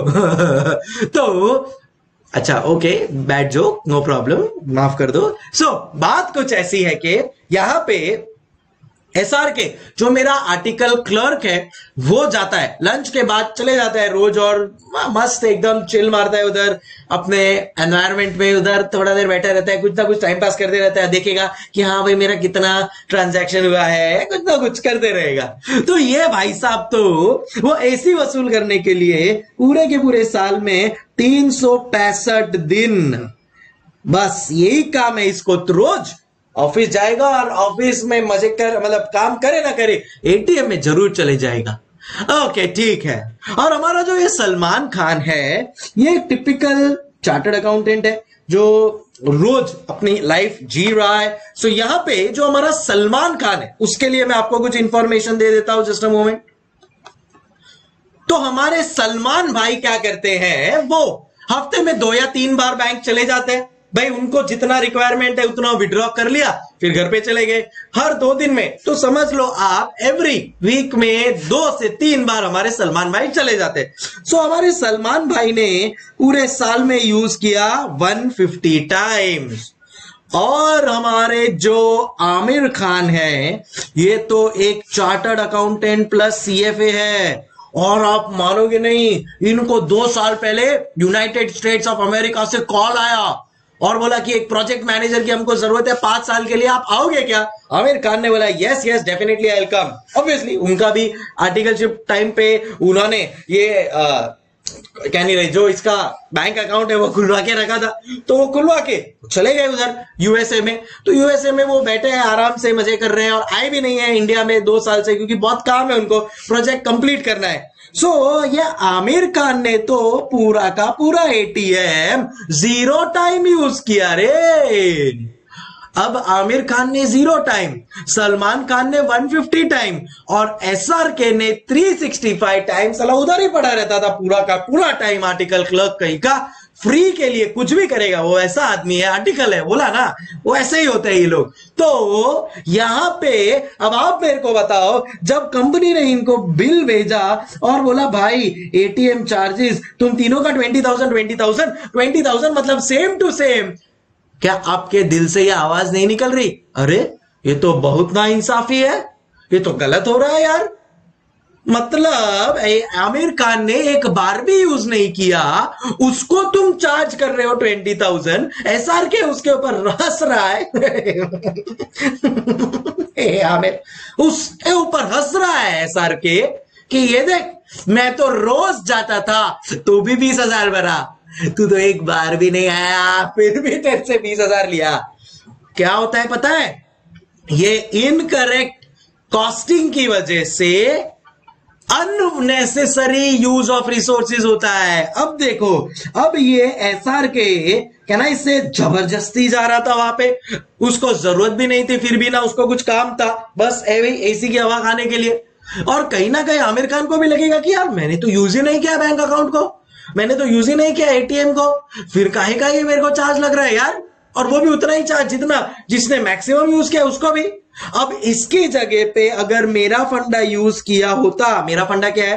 कॉस्ट शुड बी चार्ज हाँ अब तुम लोग के जबान पे बैठ गया होगा cost should be charge based on consumption based on consumption अगर अपना ये वाला फंडा यूज़ किया होता कि भाई cost should be charge based on consumption then in that case ऐसा ना हुआ होता। आमिर खान के साथ गलत ना हुआ था। फिर अपन क्या करते? अपन देखते कि यार एसआर के ने 365 टाइम्स यूज़ किया है।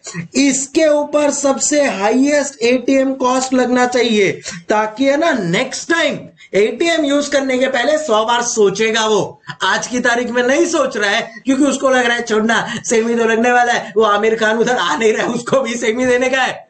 थॉट प्रोसेस चेंज हो गया है। मैं आपको और एक एग्ज़ाम्पल देता हूँ। अगर आप, आपका कोई भी बैंक अकाउंट है, समझो एचडीएफसी का बैंक अकाउंट है, अगर आप आपके बैंक अकाउंट में गए, उधर एक सोफा लगाए रोज जाके अगर आप बैठे और आ गए, क्या बैंक आपको चार्ज करेगा? हा या ना? वापस से सुनो। आपका बैंक अकाउंट है एचडीएफसी आपके ही ब्रांच में, आप, आपके ही ब्रांच में गए, उधर एक सोफा पे जाके रोज बैठ गए एम्प्लॉय से, उधर के जो बैंक एम्प्लॉयज़ है दो तीन आधा घंटा बात किया ऐसे ही, बैठ के इसी में मज़ा लेके आ गए क्या बैंक आपको उस बैठने का या उधर जाने का चार्ज करेगा? हाँ या ना? द आंसर इज़ नो उसमें क्या चार्ज करने का है? यही चीज़ आउटसाइड इंडिया में आप करोगे ना, बैंक आपसे चार्ज लेगी। बैंक बोलेगी, तुमने हमारे जगह को यूटिलाइज किया है। पे करो। तुमने हमारे एम्प्लॉय के साथ डिस्कशन किया है, पे करो। एवरी माइन्यूट थिंग्स जी हा, मैं आपको मेरे जेपी मॉर्गन का पर्सनल एग्जांपल बताऊँगा, फिर आपको ज़रूर विश्वास हो जाएगा। एंड दैट इज़ वेयर फिर बाद में उन्होंने पीपल लेस बैंक बना दिया, क्योंकि पब्लिक को लगा कि यार अगर हम लोग बैंक जाएँगे तो हमारे को तो पैसा देना पड़ेगा, उससे अच्छा तो ऑनलाइन भी आजकल तो सब चीज़ हो जाती है। तो ज़बरदस्ती क्यों जाने का खर्चा लग रहा है? ये जब थॉट प्रोसेस आएगा तो इन दैट केस आपको पता चलेगा कि कितने रिसोर्सेज वांटेड है, कितने अनवांटेड रिसोर्सेज है। And then you will be in a better position to take a decision समझे क्या? Public are you understanding guys so ऐसा गेम होने लगा। ऐसा गेम होने लगा। Yes you are right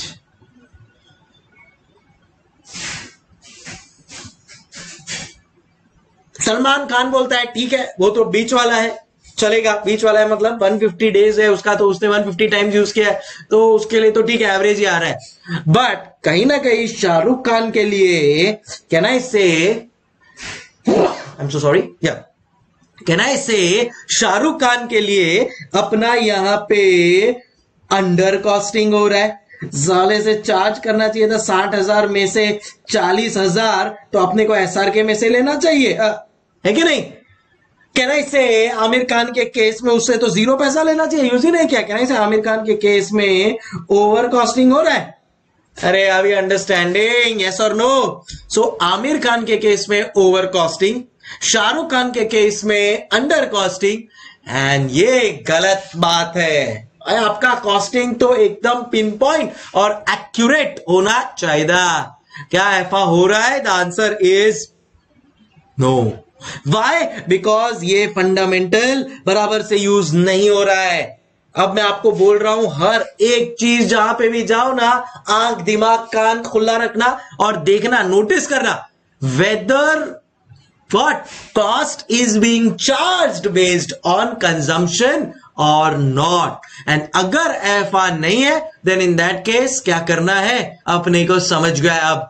आप लोग भी ऑडिट करते हो इतनी सारी कंपनीज़ का प्रोप्राइटर कंसर्न पार्टनरशिप फर्म्स का try to charge cost product का कॉस्टिंग ही इनकरेक्ट होता है। दैट इज़ द रीजन कितने सारे प्रोडक्ट्स है जो इंडियन मेड है they are not able to compete with the outside products cost incorrect costing is a major problem आप नोट करना ना टेलीविज़न है, ये सब फ्रिज है। फ्रिज में पहले गोदरेज और ये सब कितना चलते थे? वीडियो वीडियोकॉन और ये सब। आज की तारीख में नहीं चलते। They are not able to compete in terms of quality in terms of service in terms of pricing Samsung है LG है, नया टेक्नोलॉजी भी ला रहा है कॉस्ट इफ़ेक्टिव भी रख रहा है।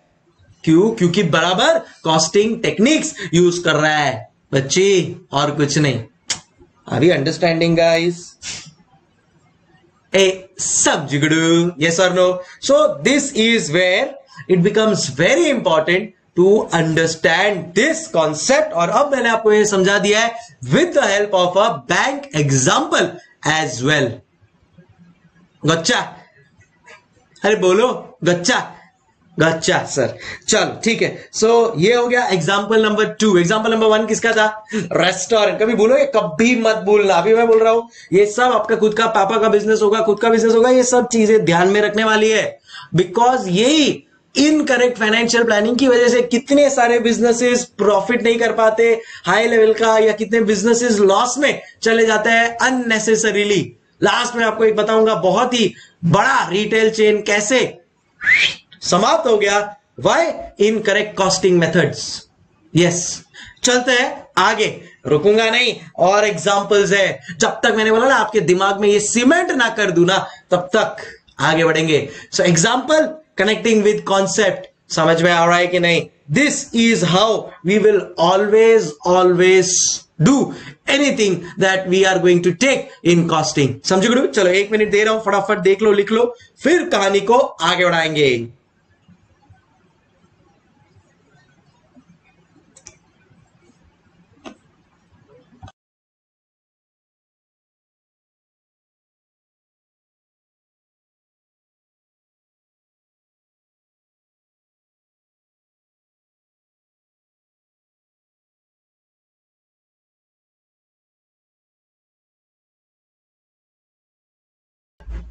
चलो चलते हैं अगले एग्ज़ाम्पल की ओर। And the next example is ये तो मेरे घर का एग्ज़ाम्पल है। यस yes, मेरे घर का एग्ज़ाम्पल है। आपके घर का भी एग्ज़ाम्पल होगा। हो सकता है या एटलीस्ट आप लोग ने नोट किया होगा। बट कभी दिमाग नहीं लगाएगा कि ऐफा क्यों हो रहा है? कैफा?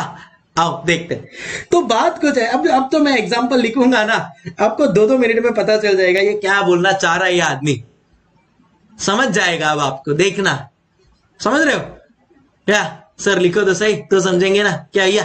चलो सो so, मैं बॉम्बे में रहता हूँ तो हमारे बॉम्बे में तो आपको पता है शहर है बॉम्बे। इकलौता शहर है भारत देश का।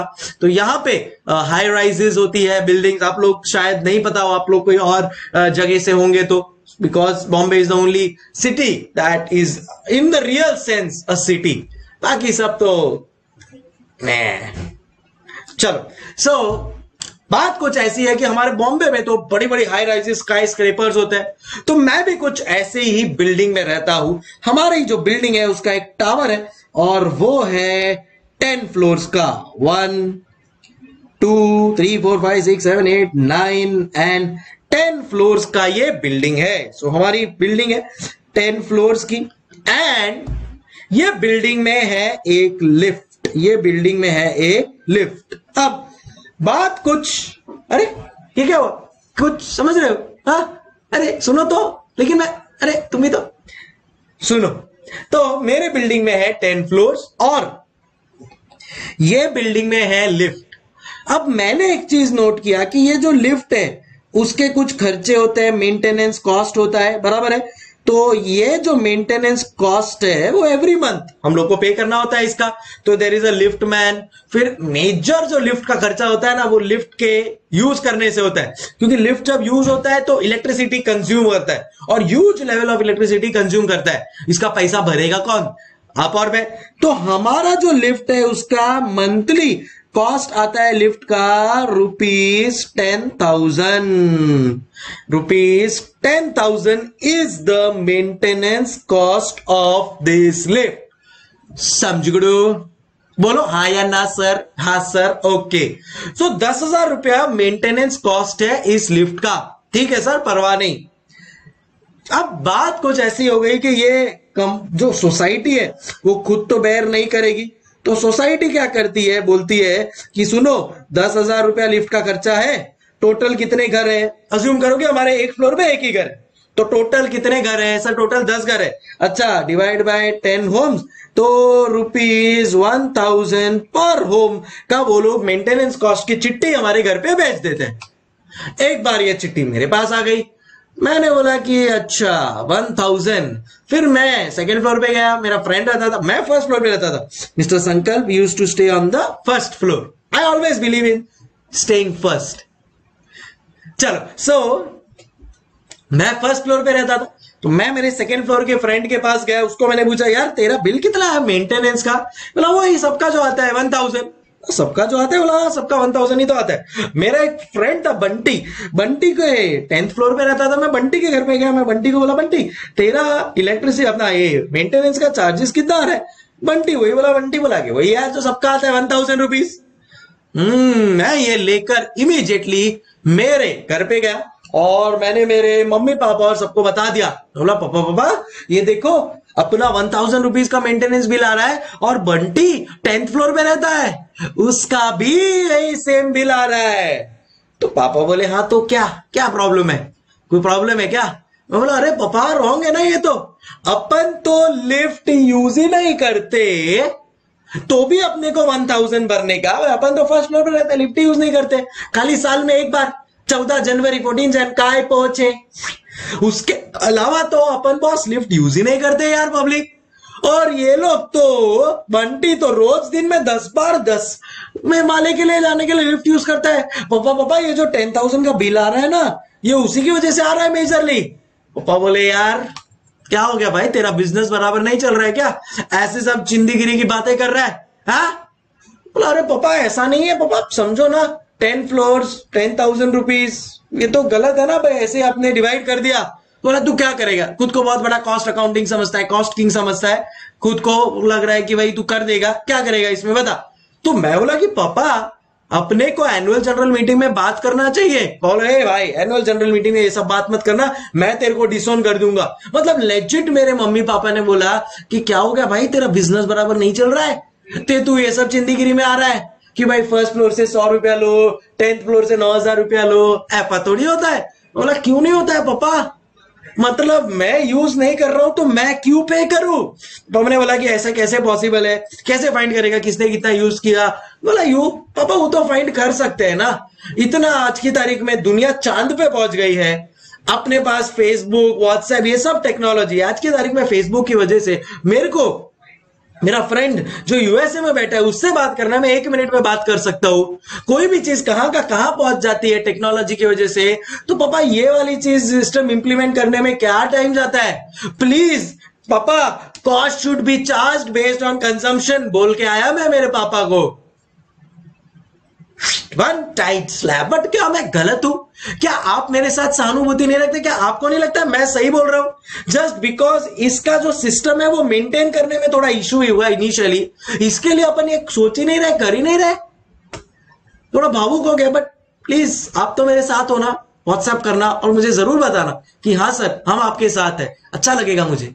मैं क्या बोल रहा हूँ कि first floor second floor third floor boss charge him based on consumption जो तुम्हारे कुछ कॉमन कॉस्ट है, वो ठीक है, चलो कॉमन कॉस्ट हम बेयर करेंगे, परवाह नहीं।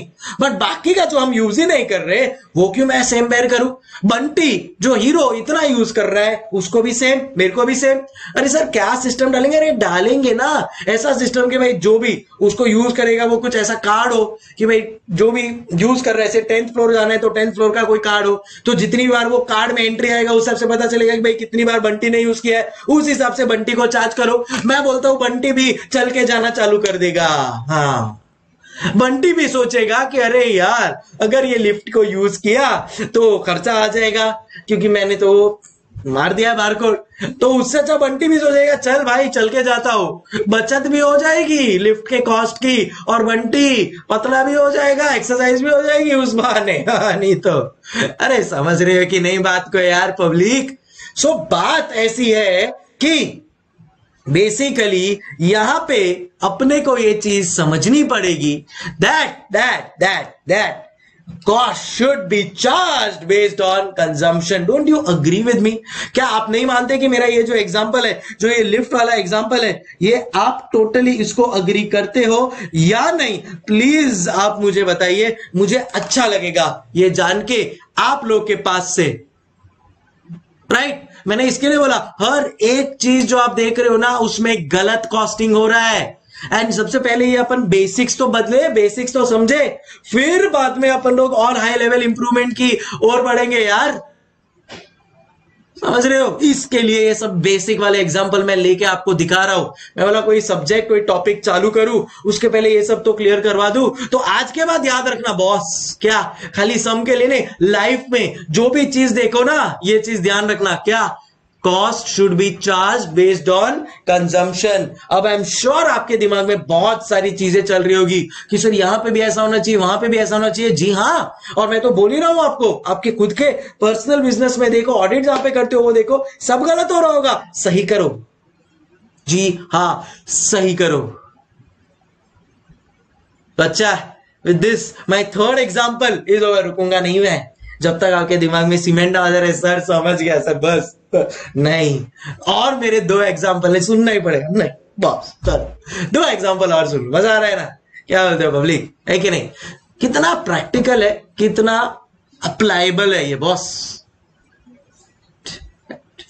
चलो, लिखना लिख लो, एक मिनट देता हूँ प्लीज़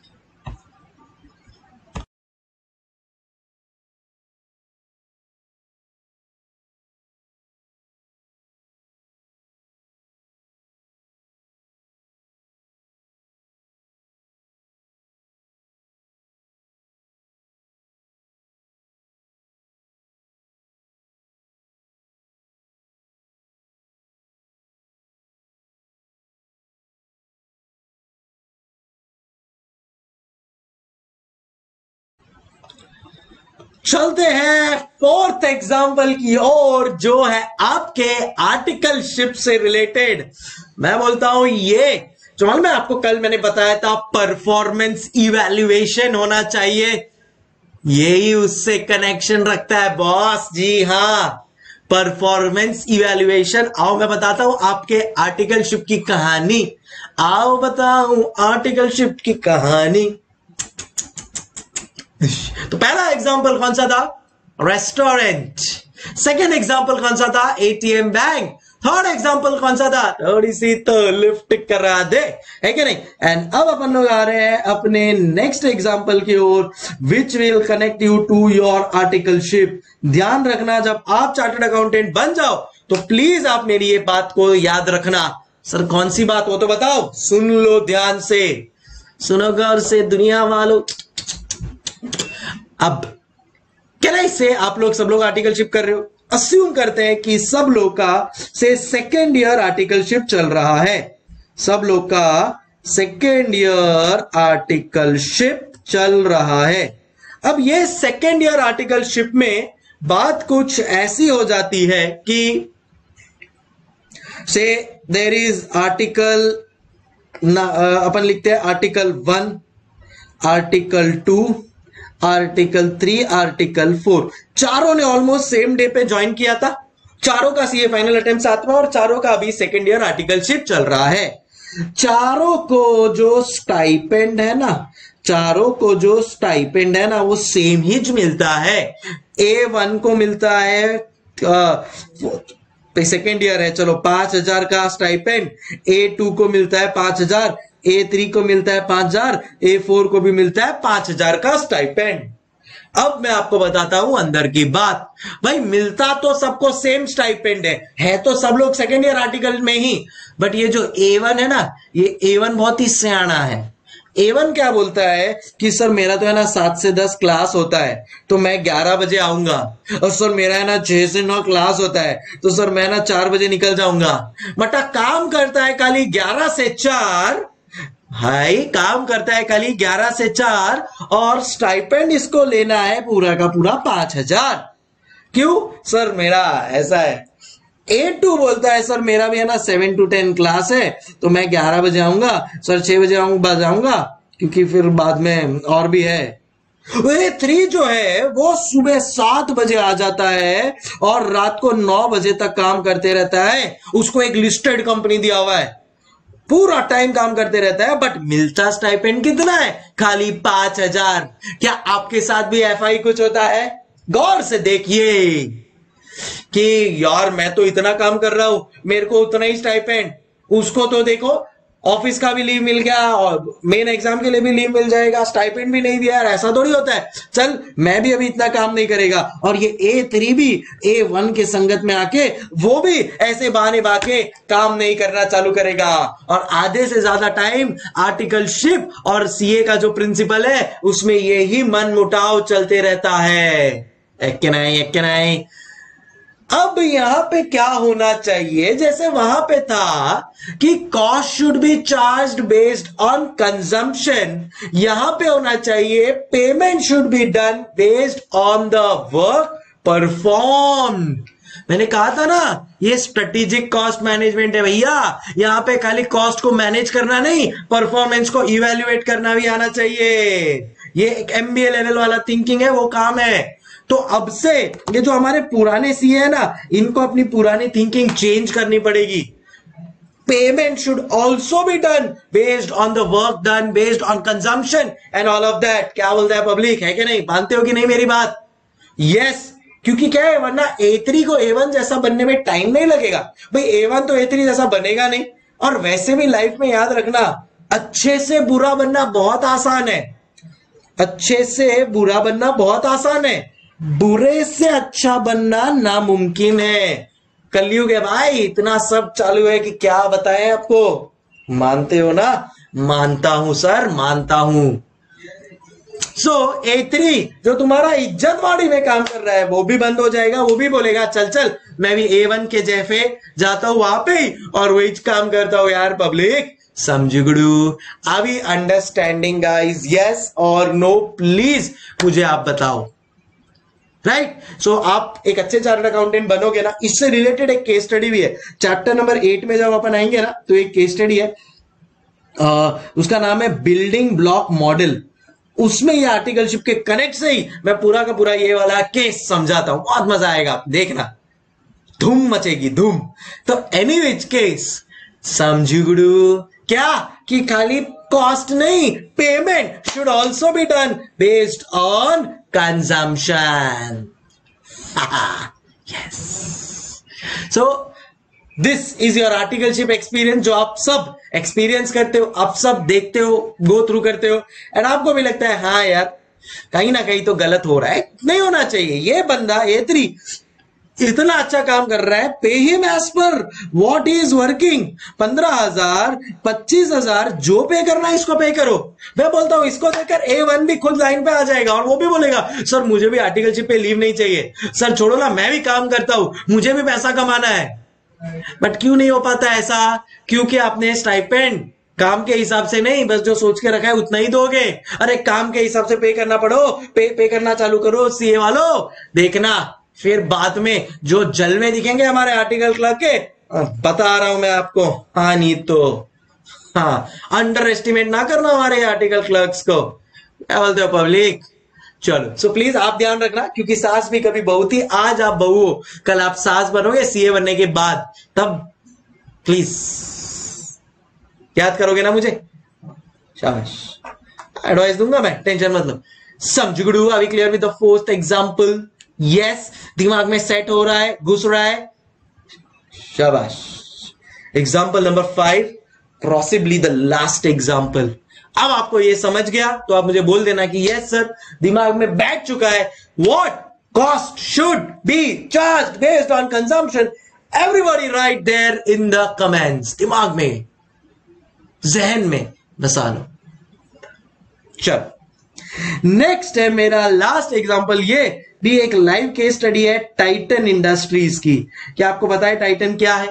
वॉच कंपनी है, बराबर है? अपन सबको है इंडिया की one of the most famous watch company अरे ये वॉच कंपनी ने एक राकेश झुंझुनवाला बना दिया यार।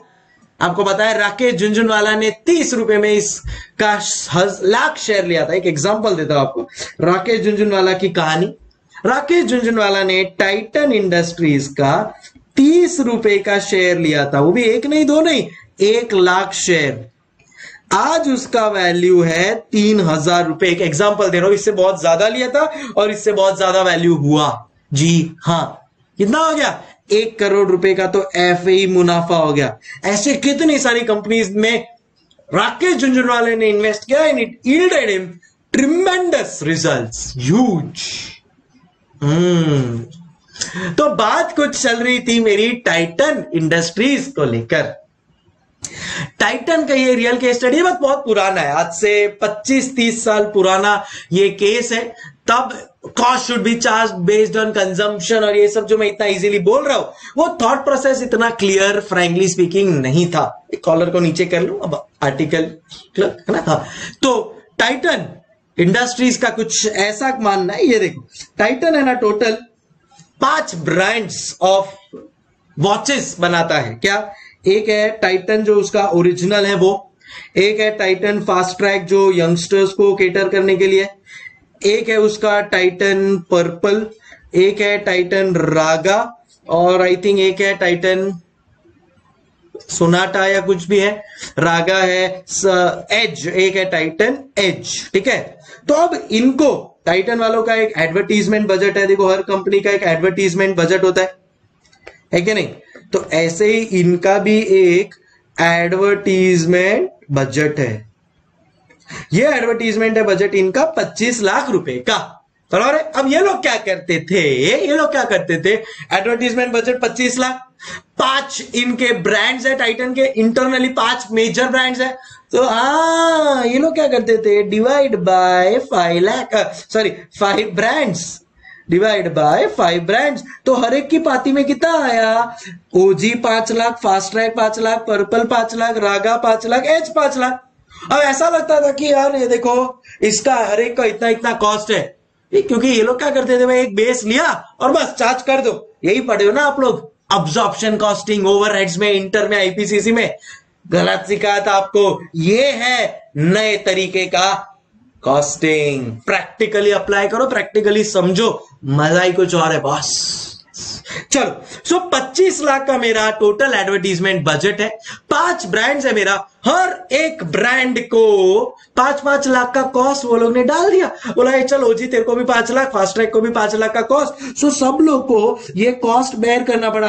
एडवर्टीजमेंट कॉस्ट के नाम पे। मैं फिर बाद में ज्वाइन किया मैंने टाइटन मैं एज अ मैनेजमेंट अकाउंटेंट उन्होंने मुझे रखा और उन्होंने बोला मिस्टर संकल देखिए तो सब सही चल रहा है कि नहीं? मैं बोला, जरा भी नहीं सही चल रहा है। ये क्या खुफिया बंदी चल रही है? तो गलत है सब। खुफिया बना रहे हो। तुम टाइटन ओजी को और सबको।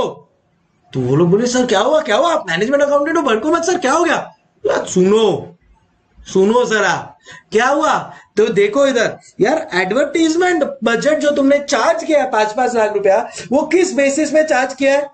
सर, कोई बेसिस क्या मतलब? सर, पाँच ब्रांड्स है, पच्चीस लाख का कॉस्ट है पाँच पाँच लाख सर कॉस्ट आएगा एक एक एडवर्टीजमेंट कॉस्ट सर पाँच पाँच लाख रुपीज़ का। अलग गलत है। तुमने ये जो 25 लाख रुपए का खर्चा किया है ये 25 लाख रुपए किस चीज़ में किया है? तो उन्होंने बोला कि सर हमने ना सोनी एंटरटेनमेंट टेलीविज़न के ऊपर किसके ऊपर? सोनी एंटरटेनमेंट टेलीविज़न के ऊपर एड्स दिया है। क्या दिया है? एड्स दिया है। और ये एड्स हमने टोटल 2500 सेकेंड्स का एड दिया है। अगर आपको पता हो तो एडवर्टीजमेंट ऑन चैनल तो सेकेंड्स के हिसाब में होता है। पता है आपको? बराबर है। सो so, यहाँ पे ये जो सोनी है ना, वो हम लोग से 2500 सेकेंड का 25 लाख रुपया लेता है। तो 25 लाख रुपए वो 2500 सेकेंड का ले रहा है। इसका मतलब क्या ना इससे रुपीज़ वन थाउज़ेंड पर सेकेंड का ले रहा है वो। तो लोग ने बोला हाँ मतलब अप्रोक्सीमेटली वो तो हमको ये, अरे अप्रोक्सीमेटली का यही है। 2500 वो अगर ले रहा है then in that case one thousand पर सेकेंड वो चार्ज कर रहे हैं। बराबर है सर? अच्छा मेरे को बताओ कि टाटा ओरिजिनल, जो इतना बड़ा ब्रांड है, सारी दुनिया को पता है, इतना पुराना ब्रांड है, क्या ये टाटा ओरिजिनल किसी भी एडवर्टीजमेंट का मोहताज है क्या? आप मुझे बताओ। तो टाटा ओजी तो ये ओरिजिनल बोला टाइटन टाटा क्या? टाइटन क्या टाइटन ओजी किसी भी एडवर्टीजमेंट की उसको ज़रूरत है? नहीं, मेरे को तो कोई ज़रूरत नहीं है, बॉस सारी दुनिया जानती है टाइटन ओरिजिनल तो सालों से चला रहा है। फास्ट ट्रैक को हाँ थोड़ी बहुत ज़रूरत है। तो चलो भाई 200 सेकेंड अपन लोग ने फास्ट ट्रैक को दे दिया। पर्पल को हाँ हाँ पर्पल को तो बहुत ज़रूरत है, इतने लोग ज़्यादा जानते नहीं है। चलो 750 सेकेंड हम लोग ने पर्पल को दे दिया। रागा को और रागा को तो बहुत ज़रूरत है। तो 850 सेकेंड हम लोग ने रागा को दे दिया। और एज को भी ज़रूरत है तो 700 सेकेंड्स जो बच रहे उतना हम लोग ने एज को दे दिया। अच्छा तो ऐसा किया है। तो मतलब सोनी एंटरटेनमेंट टेलीविज़न पे रागा की टाइटन रागा की सबसे ज़्यादा एड चल रही है। हाँ। अरे भाई तो टाइटन रागा को सबसे ज़्यादा फिर बाद में चार्ज जाना चाहिए ना ये 25 लाख का? क्योंकि उसका जो बेनिफिट है, वो तो रागा को सबसे ज़्यादा हुआ है करके। हाँ बराबर है बात तो। अरे बराबर है बात तो तो करो। रुके किसके लिए हो? अच्छा तो मतलब हम ओरिजिनल टाइटन को एडवर्टीजमेंट के नाम पे चार्ज करेंगे ही नहीं। एग्जैक्टली exactly, क्योंकि उसने तो कंज्यूम ही नहीं किया है यार। आई अंडरस्टैंडिंग गाइस ये फास्ट ट्रैक इसने 200 सेकंड किया है। तो 200 सेकंड के हिसाब से 1000 पर सेकंड बॉस, इसके पास क्यों पाँच लाख रुपए ले रहे हो? इसका तो दो लाख रुपए में काम हो जाएगा ना, पब्लिक। ए क्लियर हुआ क्या? अब समझ में आ रहा है आप लोग को? सेम वे पर्पल से साढ़े सात लो रागा से साढ़े आठ लाख रुपए लो, तब तुम्हारा प्रोडक्ट प्राइसिंग और कॉस्टिंग भी बराबर होगा। तुमने कॉस्ट को चार्ज ही नहीं किया है based on correct absolutely spot on absolutely correct clear हो गया? Yes concept clear examples clear बोलो फटाफट पाँचों, पाँच एग्ज़ाम्पल कौन फे थे पहला example restaurant second bank ATM S R K Salman और आमिर खान थर्ड एग्ज़ाम्पल मेरी लिफ्ट का था. नहीं थर्ड थर्ड एग्जांपल मेरी लिफ्ट का था। फोर्थ एग्जांपल आपके आर्टिकलशिप के परफॉर्मेंस मेज़रमेंट से रिलेटेड था और अब फिफ्थ एग्जांपल है टाइटन से रिलेटेड आई होप आप लोग को ये पाँचों एग्जांपल क्लियर हो गए होंगे। And you are now clear with the whole concept that cost should be charge based on consumption and payment should be done based on performance दो मिनट उसको लिख लेते हैं। लिख लेते हैं, लिख लेते हैं। आओ आओ आओ। चलो, क्या बोला क्या बोला? क्या बोला? क्या सीखे अपन लोग? एवरीबॉडी कॉस्ट आज के बाद हमेशा ध्यान रखना। भले ही आप खुद का बिज़नेस कर रहे हो, किसी और का, कुछ भी हो कॉस्ट शुड बी चार्ज हमेशा। ये बारीकी से काम करना। You will always get the right price of the product and you will always be the leader of the market जी हाँ। Cost should be charge based on consumption and दूसरा दूसरा correct payment should be done payment should be done मेरी handwriting बहुत अच्छी लग रही है आपको? एफ़ एफा payment should be done based on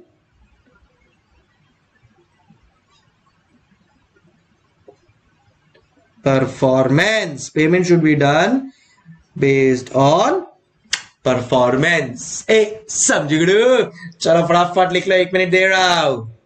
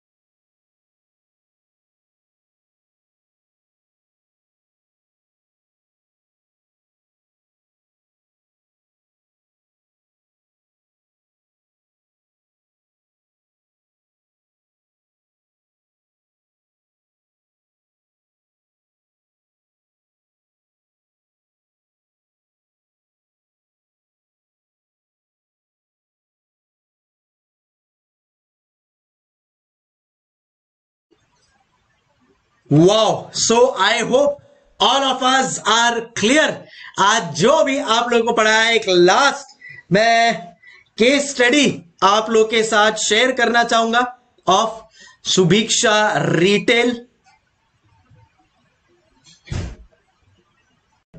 तो सुभिक्षा रिटेल जो आज डीमार्ट है ना सुभिक्षा रिटेल आज से ऑलमोस्ट 25 साल पहले कर चुका है। जी हाँ 1997 में it was started by mister Ramaswamy he is a IIT IIM alumni तो आईआईटी आईएम से उन्होंने पढ़ाई की और फिर बाद में उन्होंने सुभिक्षा करके एक रिटेल जो अपना डीमार्ट जैसा ना retail chain store supermarket store वैसा कुछ ओपन किया। चेन्नई में उन्होंने स्टार्ट किया विद टू आउटलेट्स फिर दो तीन साल में उनके कुछ फिफ्टी आउटलेट्स हो गए। फिर 2003 में उनको आईसीआईसीआई से फंडिंग मिला। Azim Premji the owner of Wipro जी हाँ उन्होंने भी इसमें इन्वेस्ट किया। और फिर देखते ही देखते 2008 के आसपास they had more than 1500 stores all over India plus they had a turnover of more than से 50 100 crores through all over India operation just imagine आपकी कंपनी 2008 में 500 करोड़ से ज़्यादा का सेल्स कर रही है। आपकी कंपनी के 1500 से ज़्यादा आउटलेट्स ऑल ओवर इंडिया और 2009 में विच इज़ नेक्स्ट ईयर 2008 में 1500 आउटलेट हज़ार करोड़ का टर्नओवर और 2009 में आपकी कंपनी बंद हो गई। कुछ बिलीव इट जस्ट इमेजिन ऐसा ही कुछ हुआ सुभिक्षा डिटेल के साथ। And one of the two major reason was improper costing तो उन्होंने क्या है, उनका भी सिस्टम यही था, सबसे सस्ता सुभिक्षा, आठ परसेंट लोअर देन एमआरपी से वो सेल करने लग गए मार्केट से विच इज़ गुड बट फिर भी क्या क्या ऑपरेशनल कॉस्ट से वो समझ नहीं पाए वो? ऑपरेशनल कॉस्ट ना समझने की वजह से उनको वर्किंग कैपिटल का बहुत बड़ा क्रंच फेस करना पड़ा, जिसकी वजह से उनके लेंडर्स बहुत सारे बढ़ गए and finally they had to shut down the shop Just imagine. And one of the major reasons, as I said, was improper costing. Because वो MRP से कम तो बेच रहे थे बट MRP से कम आप बेच रहे हो तो आपको भी तो सप्लायर से एक बहुत बड़ा बल्क डिस्काउंट मिलना चाहिए आपके भी तो ऑपरेशनल कॉस्ट कवर होने चाहिए उसका एक बहुत बड़ा मिसमैच था। वर्किंग कैपिटल वो प्रॉपरली अपना मैनेज सेट नहीं कर पाए। बहुत सारे ऑपरेशंस उन्होंने खोले, जहाँ पे इतना कंज्यूमरिज्म था ही नहीं तो उसकी वजह से उनके बहुत सारे स्टोर्स लॉस में चले गए। अब ये स्टोर्स लॉस में जाने की वजह से उनको आइडियली स्टोर्स बंद कर देने चाहिए थे। अगर स्टोर्स उतना प्रॉफिट नहीं कर पा रहे तो नहीं किया उन्होंने। And eventually they had to shut the whole shop so that's how businesses are properly बोलते ना डबल एच स्वॉट अगर प्रॉपरली आपने मैनेज नहीं किया देन बोलते ना डबल एच स्वॉट का मतलब होता है can wound if not handled with care मतलब जो जो जो आपका, जो स्वॉर्ड है ना, वो स्वॉर्ड दोनों तरफ़ से वार कर सकती है। अदरवाइज़ क्या होता है? एक तरफ़ जो आपका तरफ़ होता है ना आपका तरफ़ साइड वो सिंपल होता है और जो एकदम तीखी नी नोक होती है वो आपके शत्रु जो एनिमी है उसके तरफ़ होती है। बट कुछ राजाओं ने क्या किया? दोनों तरफ़ वो किया। तो अगर उसको आप प्रॉपर मैनेज नहीं कर पाए देन इन दैट केस वो आपको भी लग सकती है। और ऐसा ही कुछ हुआ सुभिक्षा रिटेल के साथ। जी हाँ। सो so, इसी केस स्टडी के साथ समाप्त करता हूँ मैं आज का सेशन आई एम श्योर ये जितने भी एग्जांपल्स मैंने दिए restaurant right banks lift articleship Titan watch company ये सबसे आपको बहुत कुछ सीखने को मिला होगा। एक बेस फाउंडेशन जो अपने को चाहिए था कॉस्टिंग में अपना हो जाए सेट वो हो गया होगा। अब अपन नेक्स्ट लेक्चर में स्टार्ट करेंगे अपना एक chapter and we will ensure अब से कि देखो, ऐसे ही प्रैक्टिकली आपको एग्जांपल्स दूँगा, मैं कॉन्सेप्ट से कनेक्ट करूँगा। कोई केस होगा, उससे रिलेटिव कोई लाइव प्रैक्टिकल केस होगा, वो अपन लोग समझेंगे। So that studying becomes really interesting and आपको भी मज़ा आए पढ़ने में, मेरे को मज़ा आए पढ़ाने में। क्या बोलता है पब्लिक ठीक है? चलो भाई टाइम जैसे आज तक guys keep smiling thank you so much and as I said कोई भी चीज़ हो, मेरा व्हाट्सएप नंबर मैं आप लोग के साथ शेयर कर ही चुका हूँ। क्या है? Nine eight one nine two zero one four seven three. In case of anything